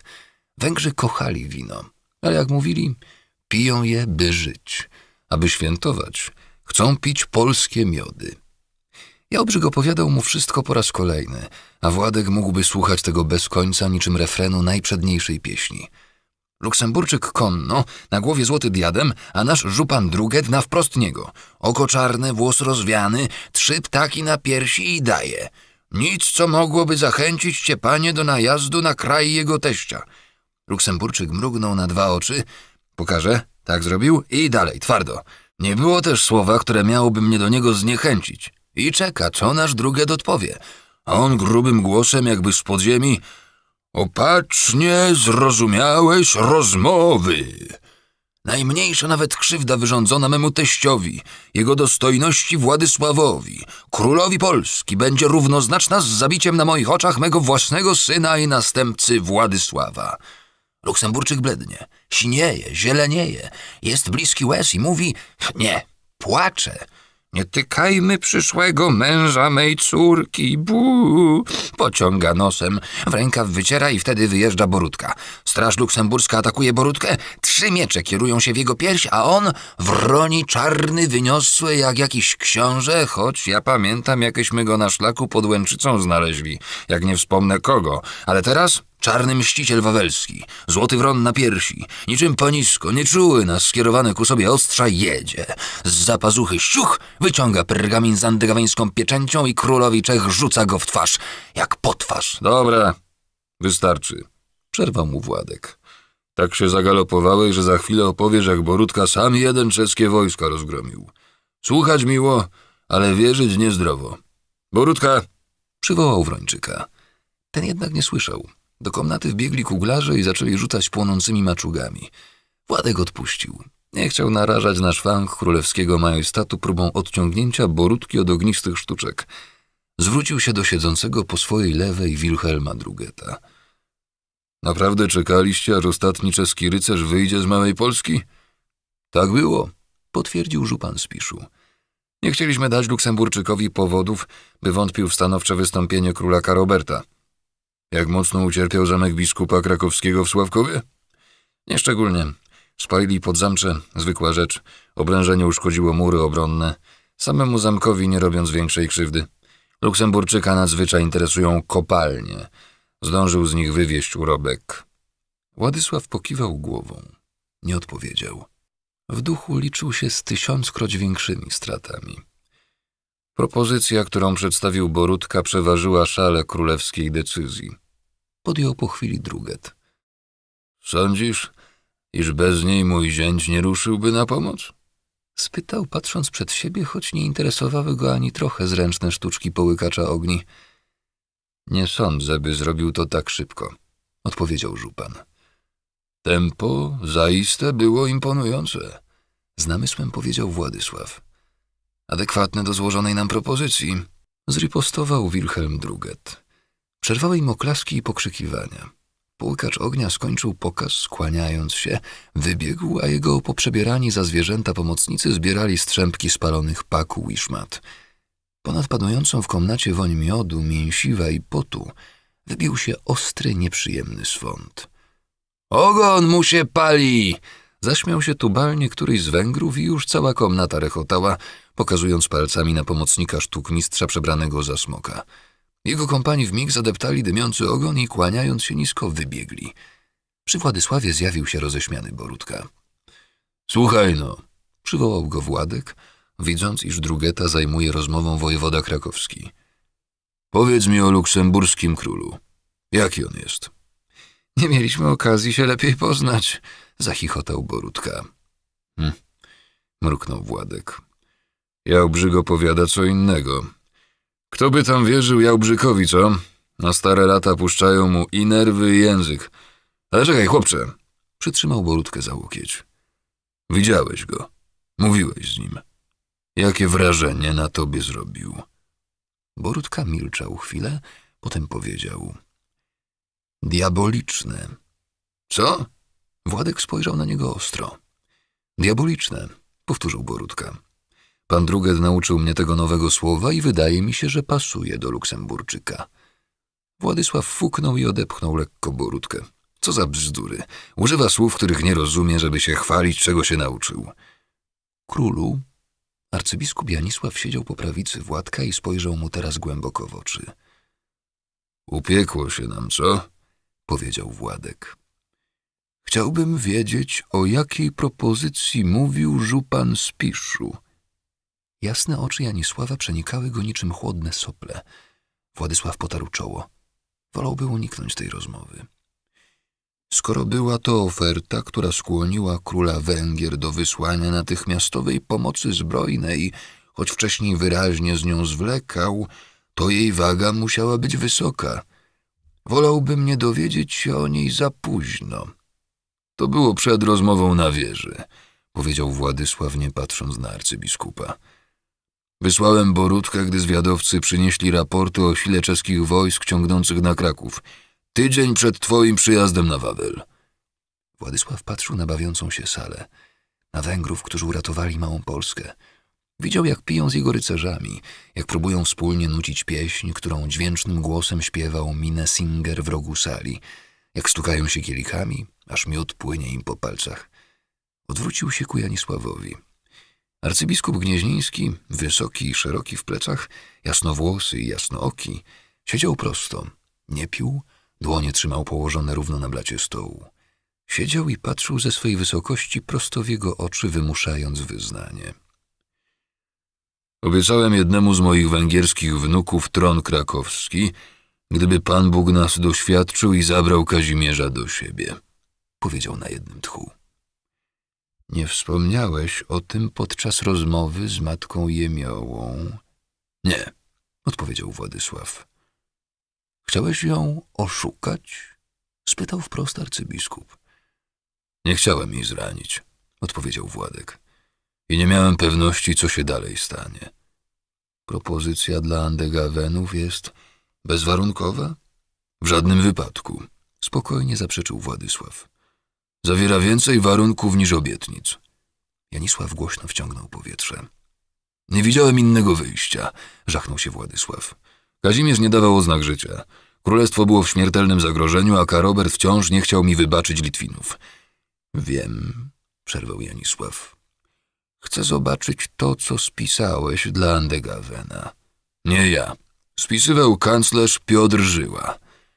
Bogu niech będą dzięki, wyszeptał Janisław. Władek już miał się żachnąć, gdy arcybiskup dodał. Ja jej nie okłamię, mój królu. Tobie też nie radzę. Nie zdążył odpowiedzieć, bo Herold zakrzyknął. Królowa Jadwiga! Jego żona z orszakiem dam dworu wkroczyła do sali biesiadnej. Zgromadzeni powstali, witając ją ukłonem. Oddawała go z uśmiechem. Z uśmiechem? Władkowi serce zaczęło walić w piersiach. Nie widział uśmiechniętej Jadwigi od roku, a teraz szła ku niemu niemal płynęła jak promień słońca. Wstał, wyszedł z za stołu, zszedł z podwyższenia, by ją powitać, jakby pierwszy raz ją widział. Żono moja? powiedział, wyciągając do niej rękę. Mężu, królu, odrzekła, podając mu swoją. Na jej smukłym palcu lśniła perła. Przynoszę wieści równie wspaniałe, jak obecność sprzymierzonych. Uśmiechnęła się do drugeta. Władek dopiero teraz zobaczył, że żupan wstał i dołączył do niego, podobnie jak arcybiskup. W komnacie umilkły gwary. Nasz syn wraca do zdrowia! Zawołała Jadwiga do niego i odwróciła się, obwieszczając wszystkim Królewicz Kazimierz ozdrowiał! Władysław poczuł, jak serce łomoce mu w piersi, jak szumi krew. Wzruszenie zdławiło go na chwilę. Nie mógł nic powiedzieć. Jadwiga ściskała jego rękę. Papież Jan XXII odprawił w intencji jego powrotu do zdrowia siedem mszy, powiedziała dźwięcznie. A matka Jemioła dokonała całej reszty. I nasz Kazimierz żyje. Jadwiga puściła jego dłoń, odwróciła się i podała rękę stojącej za nią kobiecie. Jemiole. Oszołomiony Władysław skłonił się i wyszeptał przez dławiące go łzy. Z całego serca dziękuję. Jemioła obdarzyła go uważnym spojrzeniem. Potem przeniosła je na Janisława za jego plecami. W komnacie zawrzało. Wiwaty, toasty. Wybuchła oszalała radość, tak długo nieobecna na Wawelu. Następca tronu powrócił! Władysław tak bardzo chciał teraz być przy jego łożu, wziąć go w ramiona. Zamiast niego porwał w objęcia Jadwigę. Ozdrowiał, zaszlochał w jej szyję. Jeszcze daleka droga mężu, wyszeptała mu do ucha. Dopiero otworzył oczy i nabrał rumieńców, ale, ale wolałam, by druget już oswoił się z myślą, że wydłużyła się droga do tronu. Im szybciej to zrozumieją, tym lepiej. Uwierz mi, jutro zaproszę drugeta do komnat naszego syna. Zobaczy, że choroba nie była zmyślona i zobaczy, jak Kazimierz wraca do zdrowia. Nie obawiaj się, mężu. Wojska węgierskie nie opuszczą nas tak szybko. Dostałam list od Elżbiety. Ucałowała go w policzek i odsunęła się, mówiąc do wszystkich. Nie zabawimy z wami długo. Chcemy doglądać następcy tronu. Czy zgodzisz się, mężu, by Borutka nam towarzyszył? Zgodzę się na wszystko, powiedział Władysław. Jadwiga pozwoliła, by Wilhelm Druget ucałował jej dłoń. Wzięła pod ramię Borutkę i ruszyła ku wyjściu. Jemioła zniknęła Władysławowi z oczu pomiędzy szeregiem dam dworu jego żony.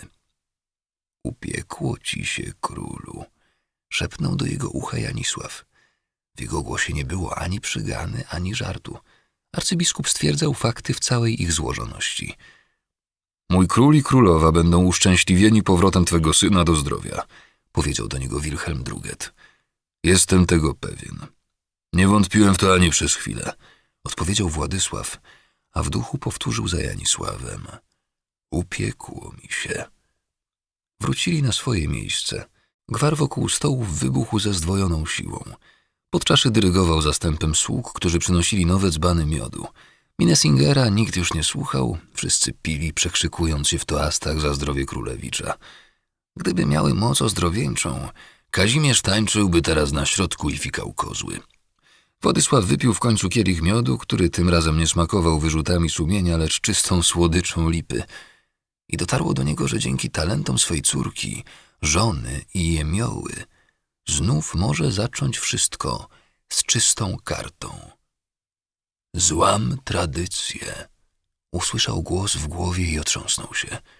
Po co ją łamać, skoro kobiety potrafią wszystko z pozycji żony?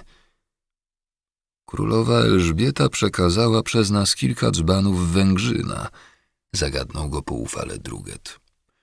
Wypijemy i Węgrzyna, przyjacielu, poklepał go po ramieniu Władek. Ale dzisiaj czas na najsłodsze trunki. Uniósł kielich, ale nim zdążono mu go napełnić, do komnaty wpadł Jarosław Bogoria, za nim nawój kasztelan krakowski. Miny obu sprawiły, że Władek odstawił kielich. Najjaśniejszy panie, powiedział kasztelan i w sali umilkły gwary i śmiechy. Król Jan Luksemburski schołdował sobie księstwa śląskie. Które?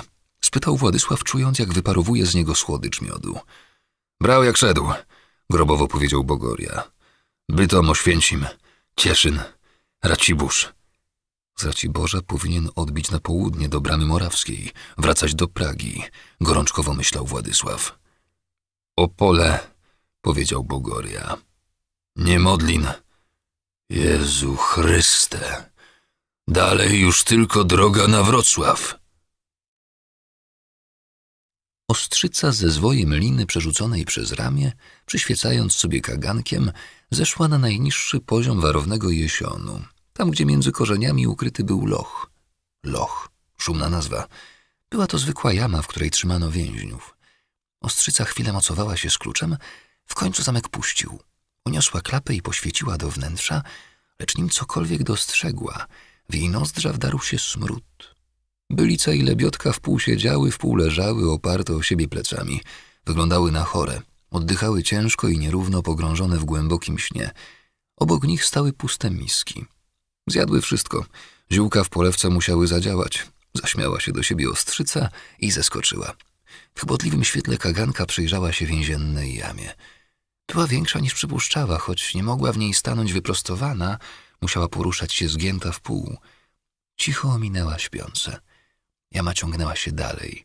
Jej ściany były wydrążone w ziemi, obwarowane korzeniami jesionu. Gdzieniegdzie na polepie walały się ogryzione zwierzęce kości, strzępy ubrań, dostrzegła nawet zardzewiałą sprzączkę. Ślady po tych, którzy gnili tu przed lebiotką i bylicą. Usiadła i uniosła kaganek. Spojrzała w górę i aż zatkało jej dech w piersi. Sklepienie jamy oplecione było plątaniną korzeni, tak gęstą, jakiej nie widziała w życiu i nawet nie przypuszczała, że coś takiego może istnieć. Najgrubsze korzenie tworzyły rodzaj szkieletu, a od nich odchodziły dziesiątki średnich, setki mniejszych i tysiące korzonków cienkich niczym źdźbło. Nic dziwnego, że nikt stąd nie nawiał, westchnęła w podziwie. Pożygałabym się ze strachu, gdyby mnie tu zamknęli. Wstała i wróciła do śpiących. Dotknęła ramienia matki. Pobudka, ale masz być cicho.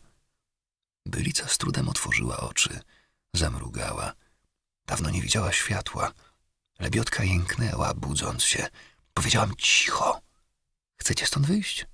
Tak, zaszeptały jednocześnie. Więc ani stęknięcia. Weźcie się w garść. Do tej jamy łatwiej człowieka wrzucić, niż go stąd wyciągnąć. Bylica poruszyła ustami. Musiała odchrząknąć, by z jej gardła wydobył się głos.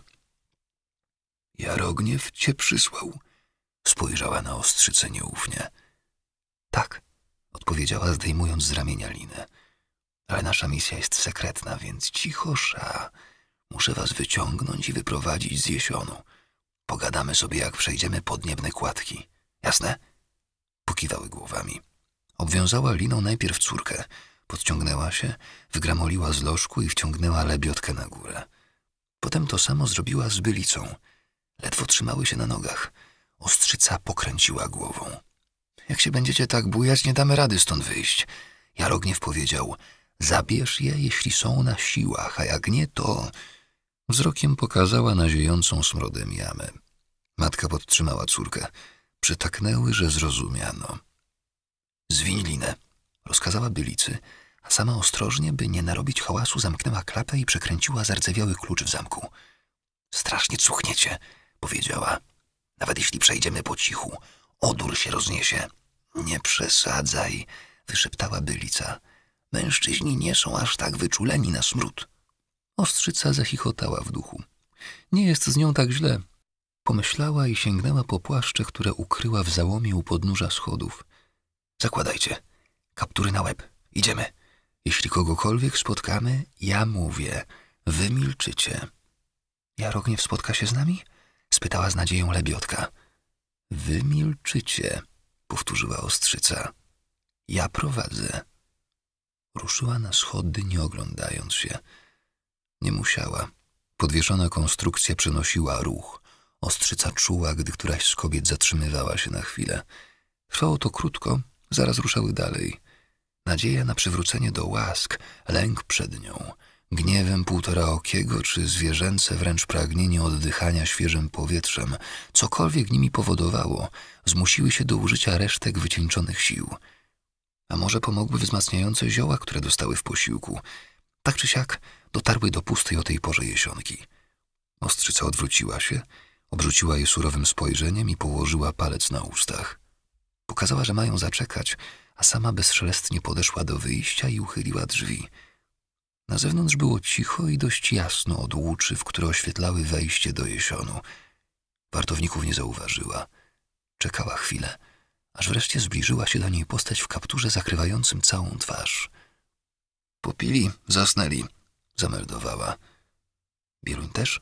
upewniła siostrzyca. Zwłaszcza on nie mógł ich zobaczyć. Tak, zapewniła. Dobra robota, Kostrzewo, pochwaliła ją. Zabieram je. Bywaj. Nie, szybko odpowiedziała Kostrzewa. Idę z wami. Zgódź się. Ostrzyca nie miała czasu na targi. Szybko przesiała w głowie za i przeciw. Było ich porówno, więc kiwnęła na zgodę. Ty bierz młodą, rozkazała. Są słabe. Podtrzymując je, szybciej przejdziemy kładki. Wyprowadziła dziewczyny z jesionki. Przemogła się i objęła bylicę za plecy. Ruszyła przodem, sprawdzając, czy kostrzewa z lebiotką dotrzymują im kroku. Najważniejsze dojść do bramy warownego jesionu. Wyznaczyła sobie zadanie i odruchowo wydłużyła krok. Musiała zwolnić po kilku, bo bylica nie nadążała. Dostrzegła dwóch wartowników śpiących z dzbanami w objęciach. Czy kostrzewa pomyślała, by zamienić naczynia i podstawić im dzbany ze zwykłym miodem? Przebiegło jej przez głowę, ale nie traciła czasu. Spyta później, jak trzeba, to zruga albo i obije. Jeszcze dwanaście kroków do bramy. Sześć, trzy. Dwaj mężczyźni spali na siedząco, opierając się plecami o bramę. Psia krew. Czekaj, puściła bylicę, a sama pochyliła się nad śpiącymi. Wsłuchała w chrapliwy oddech. Owiono ją zapach przetrawionego miodu i ostra woń ziół. Kozłek, męczennica polna i chmiel. Wielka nasenna trójca i naprawdę niewielka dawka to jadu. Jeden z wartowników poruszył się przez sen, zamruczał jakieś lubieżne zaklęcie. Ostrzyca na palcach wróciła do dziewczyn. Otworzę bramę, a wy przytrzymacie ich za ramiona, żeby nie upadli, gdy uchylimy wrota. Zamykając, podtrzymamy im plecy. Powinni dalej siedzieć i spać. Ale gdy tylko domknę bramę, biegniemy co sił. Jasne? Jarogniew czeka na nas? Spytała młodsza, a ostrzyca w odpowiedzi obrzuciła ją złym spojrzeniem. Jarogniew cię posieka, jeśli zawiedziesz, odwarknęła. Idziemy. Nieraz sama otwierała żelazną zasuwę bramy, bo w pierwszych latach służby półtora oki dawał jej dwu, trzydniowe, nieustanne warty, sprawdzając ile jest w stanie wytrzymać bez snu. Gdy ze zmęczenia kiwała się nad ranem, przychodził i zaskakiwał ją. Za każdą nieuwagę dostawała w łeb. Zarobiła tak dwanaście razy i przysięgła sobie, że trzynastego nie będzie. Raz próbował z nią tego, co dzisiaj zrobiła tym chłopcom Kostrzewa. Przyniósł jej dzban miodu. Pochwalił za służbę. Wypiła, szczęśliwa i dumna, że dowódca ją docenia, wyróżnia, obdarza uważnym spojrzeniem dwubarwnych oczu. Stał przy niej i patrzył, jak pije do dna. I na tym dnie wyczuła goryczkę ziół, ale było za późno. Jarogniew podał jej inne proporcje odwaru niż to, co rudowłosa dała teraz chłopakom. Ostrzyca na całe życie zapamiętała piekący smak pojadu. Wtedy uśmiechnęła się, oddając pusty dzban. On poklepał ją w ramię i poszedł. Odczekała chwilę i włożyła sobie palce do ust. Nieważne, że chłopcy rechotali. Wyżygała wszystko, popiła wodą, otrząsnęła się i gdy półtora oki przyszedł sprawdzić, czy zasnęła, czy porzuciła wartę, ona stała blada, zielonkawa i wciąż wstrząsana torsjami, ale stała, oparta o swój oszczep. Ci junacy najwyraźniej nie byli dość czujni. Musieli wypić wszystko, co przyniosła im kostrzewa. Pewnie gapili się przy tym na jej rude, długie włosy i gadali, że jest słodka jak miód. Wiedziała, jak chwycić zasuwę, jak unieść ją równo, by żelazo nie wydało szczęku. Podtrzymała zawiasy i ostrożnie wysunęła ciężki rygiel. Głową dała znak dziewczynom, że teraz mają przytrzymać wartowników. Kostrzewa pomogła jej pchnąć masywne wrota, obeszły śpiących zręcznie i już obie były na zewnątrz, robiąc miejsce bylicy i lebiotce. Te, pochylone, nie puszczając pleców wartowników, obeszły ich bokiem. Lebiotka nadepnęła na swój płaszcz, zachwiała się niebezpiecznie, ale mocne palce ostrzycy przytrzymały ją. Wyplątała się z fałd. Ostrzyca kiwnęła głową kostrzewie i równo, powoli domknęły bramę. W ostatniej chwili bylica z lebiotką puściły plecy wartowników, a ostrzyca i kostrzewa podparły ich, zamykając wrota. Kamień! szepnęła ostrzyca, nie puszczając ciężkich wrót. Bylica w mig znalazła co trzeba, ale nie miała siły przytargać kamienia do podparcia bramy. Pomogła jej kostrzewa. Ostrzyca pokazała im, że mają potrzymać wrota zamiast niej. Kamień to za mało, aby utrzymać od zewnątrz niezamkniętą na zasuwę bramę, ale przewidziała to wcześniej. W krzakach ukryła kilka grubych konarów. Znalazła je w mig i zabezpieczyła wyjście. Biegniemy, rozkazała i ruszyły zawieszonymi między wierzchołkami drzew kładkami. Byle do końca kładek. Wyznaczyła sobie kolejny cel. Zykhard von Schwarzburg, komtur grudziącki, przyjechał do Malborka na zwołaną na prędce przez wielkiego mistrza naradę. Chciał zaskoczyć wszystkich i przybyć o dzień wcześniej, ale po drodze odwiedził swego bratanka Ginterusa, komtura w gniewie, i wyszło jak zwykle. Gdy zapraszam najważniejszych ludzi w państwie zakonnym, pretensjonalnym magisterskim tonem zajęczał Werner von Orseln. Każdy z nich poczytuje to sobie za zaszczyt. Mimo to jeden i wciąż ten sam spóźnia się haniebnie. Zyghardzie von Schwarzburg, przypominam, że jesteś komturem grudziąckim, a nie księciem, na którego będziemy czekać. Wybacz, wielki mistrzu. Skłonił się Zykhard z miną, o której miał wyobrażenie, że jest pokorna. Oczywiście, jestem księciem von Schwarzburg, ale tylko z urodzenia.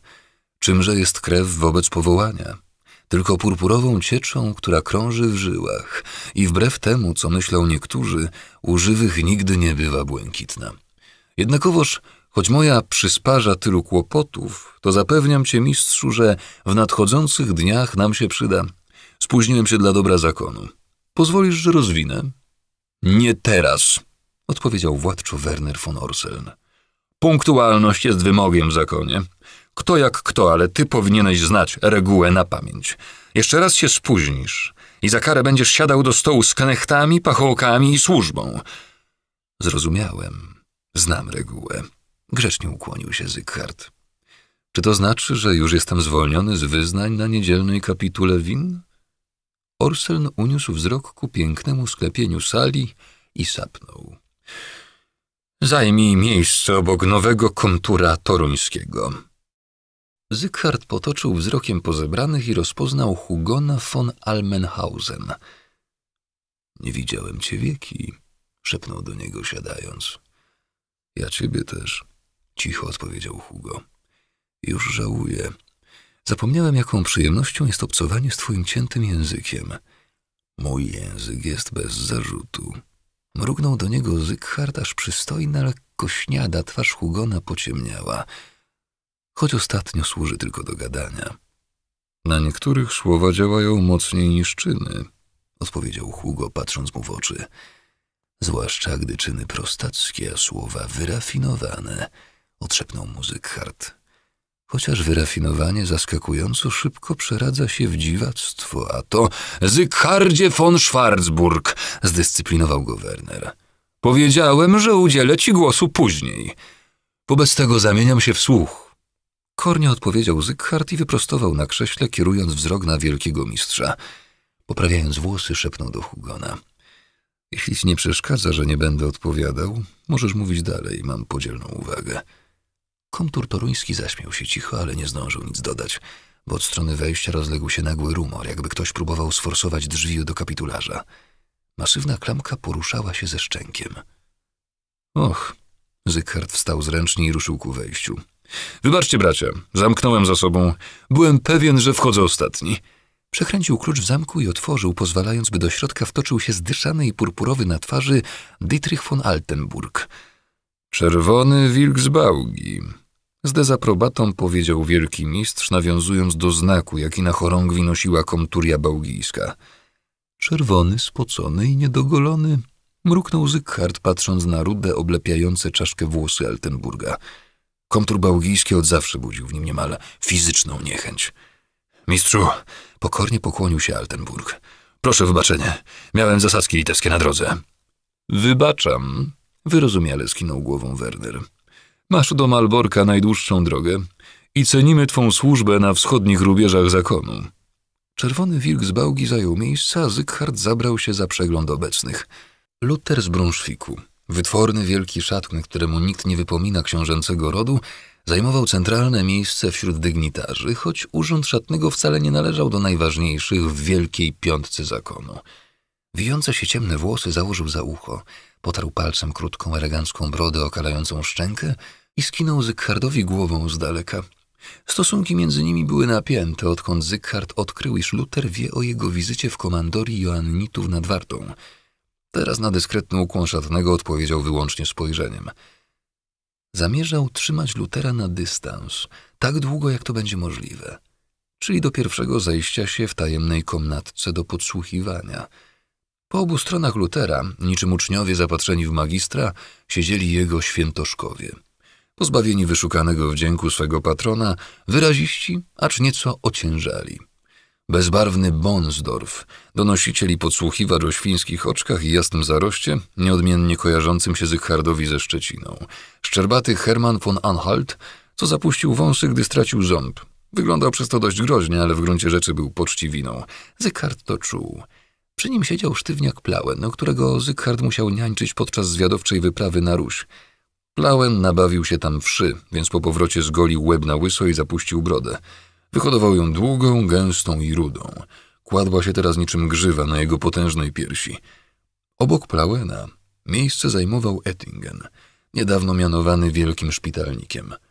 Zykhard zmrużył oczy i przyjrzał mu się uważnie. Wielki krewki szwab, wyrywny i pyskaty, czym sobie zasłużył na tak wysokie stanowisko zakonne. Po drugiej stronie Lutera siedział Otto von Lautenburg.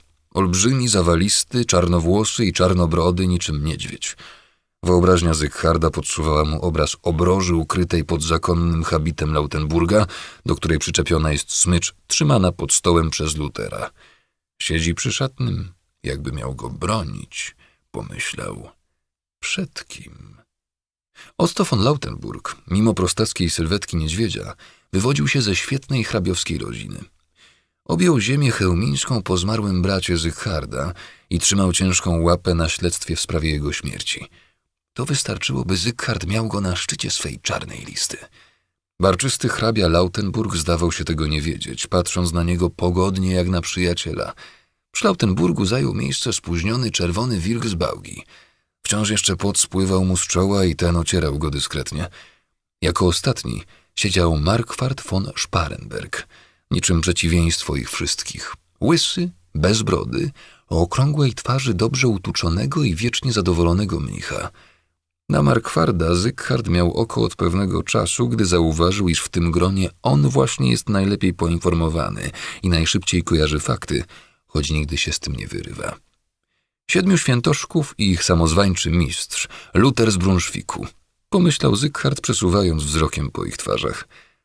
Obserwował ich od tak dawna. Wszyscy, łącznie z Luterem, byli kiedyś jego podkomendnymi w dzierżgoniu.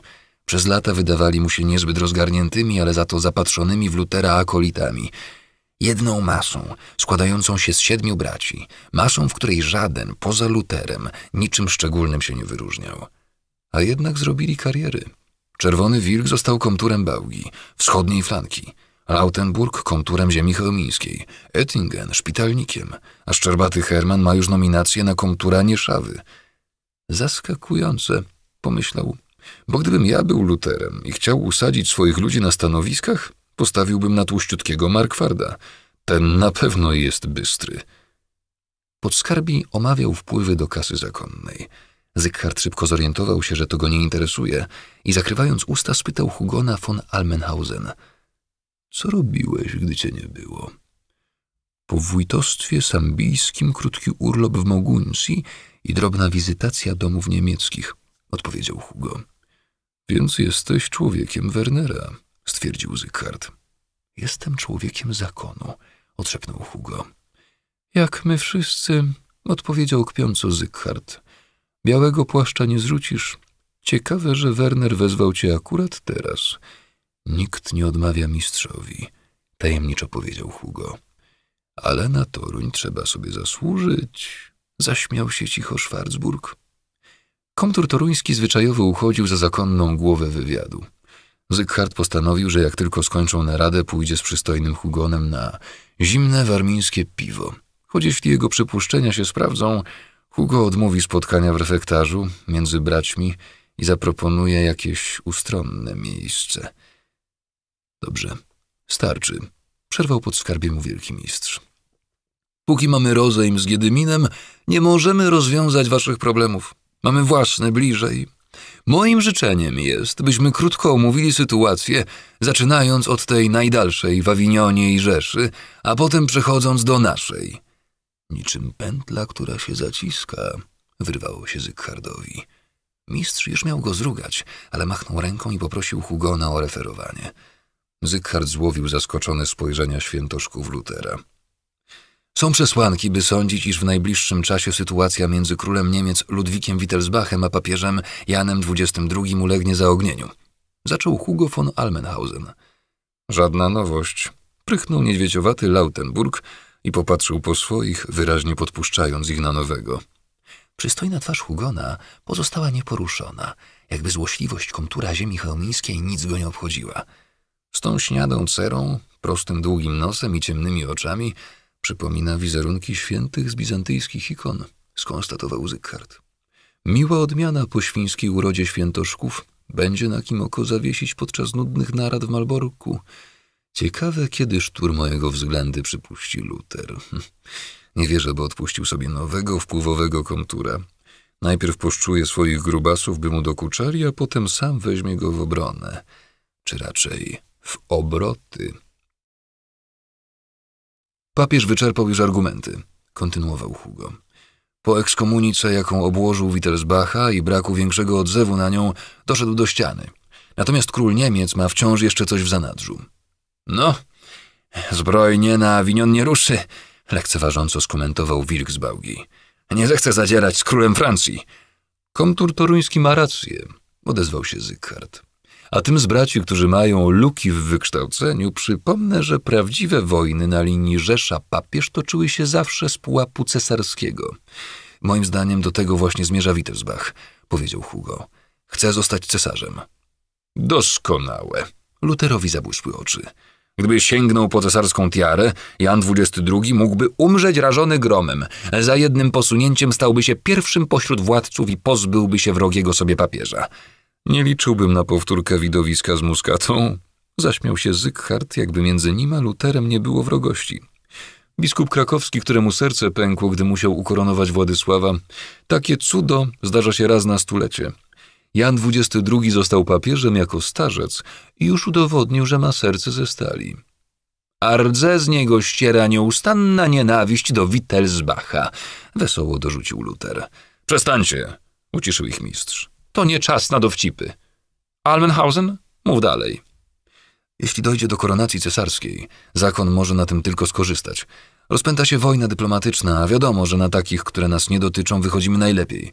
Zarówno Wittelsbach, jak i papież będą chcieli pozyskać naszą przychylność. Wówczas możemy wytargować coś interesującego. Od papieża zdjęcie interdyktu, poproszę. Uśmiechnął się wreszcie wielki mistrz. A od cesarza zgodę na pobicie króla Władysława, dodał Luter. I jakąś pamiątkę z Rzymu, zakpił Zykhard. Cytrynowe ciastka, beczkę dobrego wina, medal pamiątkowy, liścik z podróży. Schwarzburg ma rację, smutno spuentował mistrz. Nie ma się co ekscytować, póki sprawy nie staną się faktem. Natomiast przyjęcie postawy wyczekującej gotowości wydaje się słuszne. Jeśli Wittelsbach będzie chciał sięgnąć po tytuł cesarski, musi udać się do Italii. To długa podróż. Gdy oczy świata będą skierowane na Rzym, nikt nie będzie patrzył na wschodnie rubieże. Dokończył swoją myśl Zykhard. Zatem zajmijmy się oceną sytuacji, potwierdził mistrz.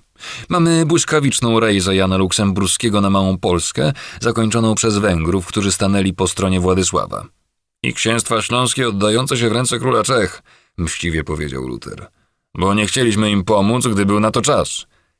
Czas był zły, oświadczył wielki mistrz. Mieliśmy rozejm z królem Władysławem. Teraz nie mamy, odkrył radośnie Lautenburg. Teraz nie mamy, powtórzył za nim Zykhard, już nic do powiedzenia w tej sprawie. Luter ma rację, spóźniliśmy się. Choć zgadzam się z wielkim mistrzem, że interwencja na Śląsku niewiele by nam przyniosła dobrego. Patrząc z obecnego przebiegu zdarzeń, mogłaby nas postawić w stanie wojny z królem Czech. Gdybanie, prychnął Luter. Skupmy się zatem na faktach, uspokoił mistrz. Rozejm z Królestwem Polskim wygasł. Król Władysław odepchnął zagrożenie czeskie i ma w kraju wojska Karoberta w znacznej sile.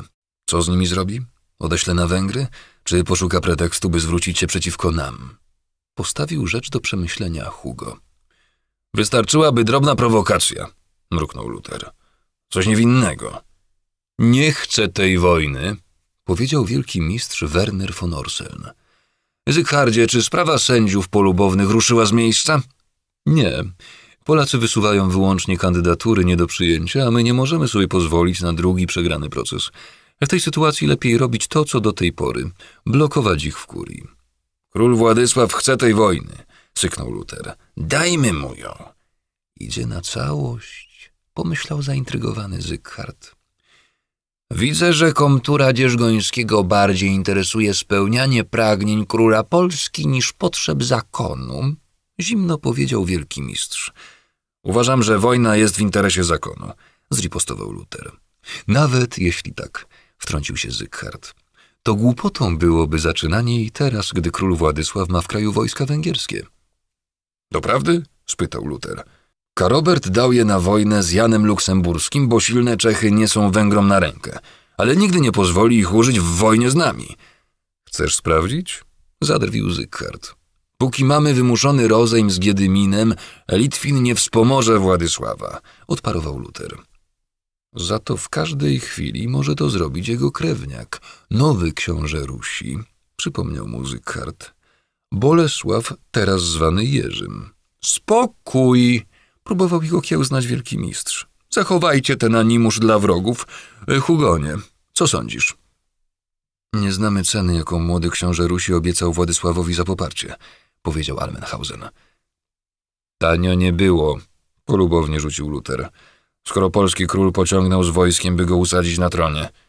Jak powiedziałem wcześniej, spokojnie przypomniał Zykhard. Moje spóźnienie nie wynikało z gnuśności, lecz było wynikiem pracy dla zakonu. Zajmowałem się właśnie młodym ruskim książątkiem. Sądowałem jego matkę, Marię. A więc to nie plotki! A rubasznie zarechotał Herman. Żeś uwiódł czerską księżnę. Hermanie, Zykhard odwrócił się do niego i uniósłszy palec do ust dodał. Gdy się śmiejesz, widać dziurę po wybitym zębie. Herman zacisnął usta i odpowiedział mu wściekłym spojrzeniem. Sąduję Marię, czy byłbym mile widzianym gościem na dworze jej syna. Odpowiedź jest obiecująca.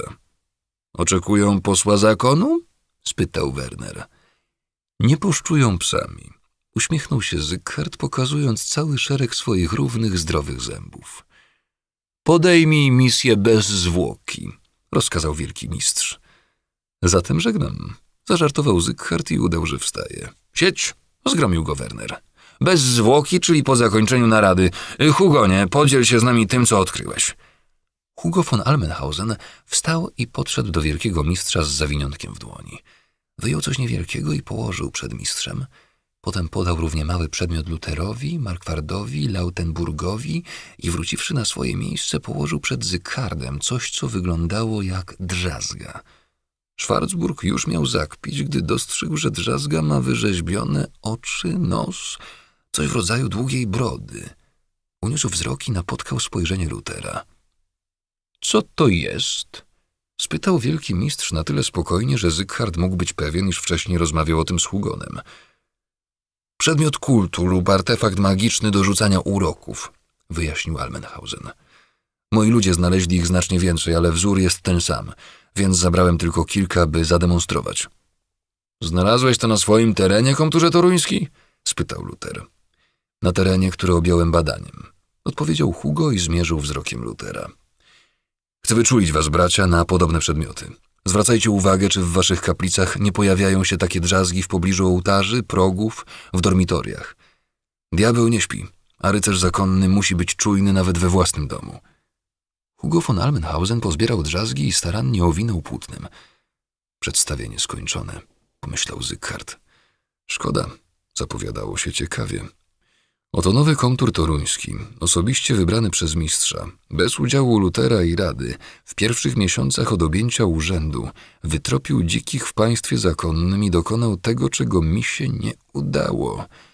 Otworzył oczy Wernerowi. Tym bardziej powinienem napić się z nim piwa. Nie, nie muszę się aż tak poświęcać. Zaproszę Hugona na wino. Módlmy się. Werner wstał i dał znak do zakończenia spotkania. Zmówili paternoster i Zykhard już chciał zagadnąć Almenhausena, gdy wielki mistrz powiedział. Luterze i Zykhardzie, muszę wam coś pokazać jako miłośnikom sztuki. Towarzysz nam, Hugonie, proszę za mną. Wilk z bałgi fuknął i zmierzwił rude, oblepiające czaszkę włosy. Wystarczyło ostre spojrzenie Lutera, by zreflektował się i przyjął pokorną minę. Wyglądał z nią wyjątkowo niezręcznie. Ulryk, komtur domowy Malborka, przywołał sługi ze światłem. Czekali przy wyjściu z kapitularza. Poprowadziłbym was tam jutro, ale Zykhardowi spieszno na rusz, powiedział Werner. Męczy mnie ta zima, szybki zmierzch, czytanie przy świecy. Z wiekiem coraz szybciej łzawią mi oczy. No, chodźmy. Hugonie, bądź łaskaw. Wezwał go do siebie i jasnym było, że mają kilka słów do zamienienia na osobności. Zykhard został z Luterem. Odczekali kurtuazyjnie, aż mistrz i Hugo oddalą się o parę kroków i ruszyli za nimi. Coś ciekawego się działo, nim przybyłem? Zagadnął Zykhard.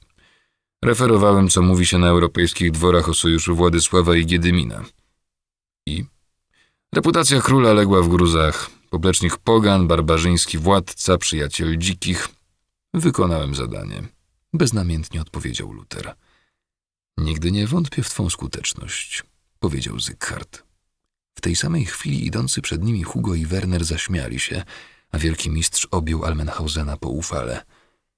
Wypadliśmy z łask, Zykhardzie, powiedział Luter. Hm. Pierwszy występ nowego komtura toruńskiego uważam za udany. A ty co sądzisz? Wiele ciężkich myśli chodzi mi po głowie, powoli odpowiedział Luter. Tak ciężkich, że nie chciałbym rozmawiać o nich tutaj. Gdzie on nas prowadzi? Zbliżali się do kościoła zamkowego. Od wschodu wciąż otoczony był rusztowaniem. Dobudowa lewego skrzydła ciągnęła się w nieskończoność, mimo iż Malborg był oczkiem w głowie Wernera. Na nieszpory za późno, do komplety daleko. Niespokojnie rozejrzał się Zykhard. Wielki mistrz i Hugo stanęli u wejścia przy imponującej portalem złotej bramie. Poświećcie, rozkazał sługom Werner. Wczoraj skończyli malować, wyjaśnił Zyghardowi i Luterowi. Wam pierwszym się nimi pochwalę. Odsuń, chłopcze, te kozły. Pokazał na sprzęty zostawione przez malarzy. W nozdrza wdzierał się ostry zapach tempery, octu i ługu. Ależ brzydkie plamy na posadzce. Zykhard celowo spuścił wzrok, by nie patrzeć na lśniące świeżą farbą fryzy. Doczyszczą, gospodarskim tonem powiedział mistrz. Patrz w górę, Zyghardzie, nie pod nogi. Panny mądre i panny głupie były gotowe już w zeszłym roku, ale wciąż czegoś mi brakowało w przekazie, perorował. Pannom jednym i drugim brakuje urody, skonstatował Zykhard. Ale metafora nie musi być piękna, tylko czytelna. Sąd ostateczny, który wyobrażają też dla większości z nas, będzie przeżyciem fatalnym. Po co osładzać je urodą dam? Usilnie starał się nie patrzeć na to, co chciał im pokazać mistrz. Połyskujące nową farbą fryzy, na których znalazło się wyobrażenie fauny i flory, tak toporne, że jeśli miało być wizją piekła, to się mistrzowi nadzwyczaj udało. W końcu padło to, czego się obawiał. Jak wam się podoba? Winorośl nadzwyczaj... Luter szukał słowa. Dosłowna, podobna do winnego krzewu, że nie sposób pomylić. Za to ten smok wskazał na stwora o ptasim korpusie pokrytym łóżkami. Ja widzę dzika.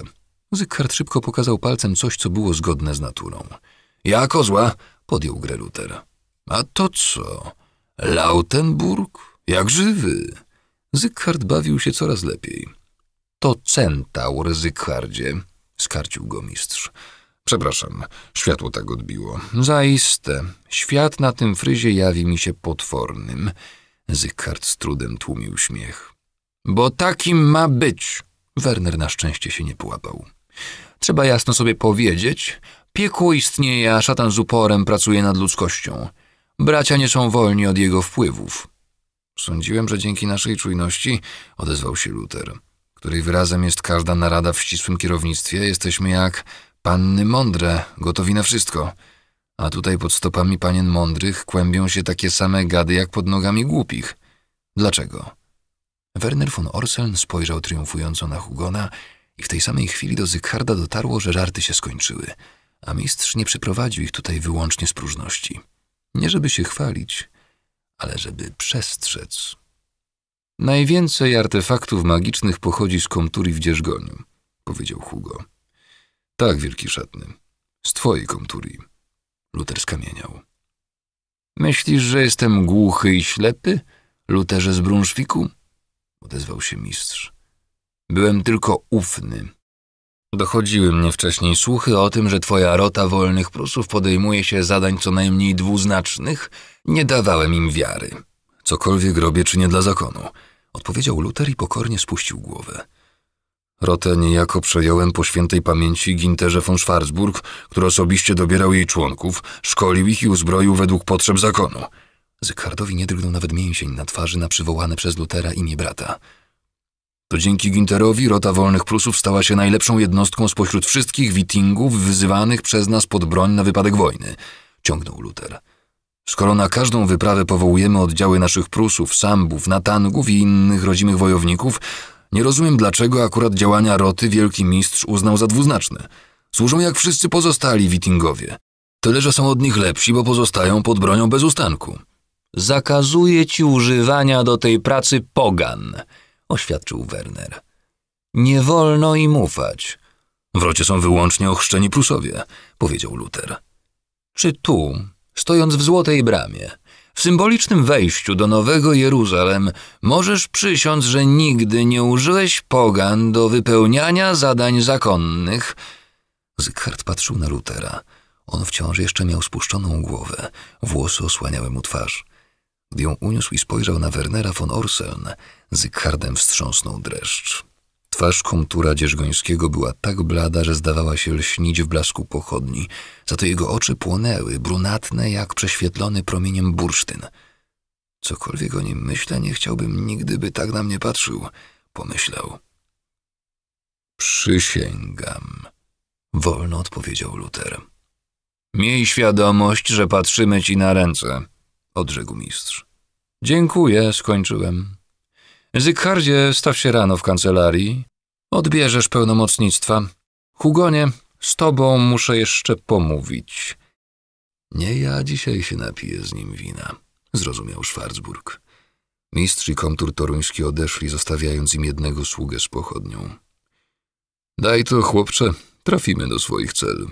Wyjął mu ją z ręki Zykhard i otrząsnął się z wrażenia, jakie przed chwilą zrobił na nim wzrok Lutera. Teraz komtur dzierżgoński wyglądał najzupełniej normalnie. Zostali sami. Zykhard uniósł pochodnie i jeszcze raz oświetlił portal Złotej Bramy. Koszmarne, toporne, potworne. Szczerze ocenił jakość płaskorzeźb, a w myślach dodał.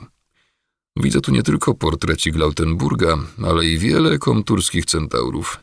A dzik jest podobny do Bonsdorfa, te świńskie oczka. Rzeźbiarz się zapatrzył. Nawet Szczecinę zrobił mu rudą. Zykardzie, dzisiaj jest ten dzień, gdy nade wszystko nie chcę usłyszeć, co mistrz mówi w prywatnych pokojach. Grobowym głosem odpowiedział Luter. Przejąłeś się? Daj spokój. Pocieszył go Zykhard. Nie dlatego, że mu współczuł, ale dlatego, że osłabiony Luter był dla niego lepszym kąskiem niż silny. Mam do ciebie prośbę, która w obecnej sytuacji, po tym oświadczeniu mistrza, które padło przed chwilą, zabrzmieć może co najmniej dwuznacznie. Mów śmiało. Chcę obejrzeć szkice, które przed laty zrobił Kuno. Co? W pierwszej chwili Zykhard naprawdę nie zrozumiał, o co prosi Luter. Szkice obrazów, jakie miał wykłute na skórze starzec, którego złowiliście w puszczy pod Bałgą. Wiem, że brat Kuno je zrobił, nim wykradziono wamieńca. Jak rozumiem, chcesz, by zostało to między nami, powiedział, kiedy do niego dotarło. Nie ma sprawy, Luterze, tyle, że to musi poczekać do mego powrotu z Rusi. Sam słyszałeś, jutro wyjeżdżam. Luter skinął głową. Ruszyli bez słowa w stronę prywatnych cel. Gdzieś w krużganku przed nimi ostro zapiszczał szczur. Potem usłyszeli tupot kilkunastu łap. Wartownik, zakpił Zykard. Ostrzegł swoje stado, że nadciągamy. Tutaj wychodzi szyb wentylacyjny z klasztornej kuchni. Bezbarwnie stwierdził Luter. Studiowałeś plany Malborka? Znalazłeś nowe, ciekawe komnaty?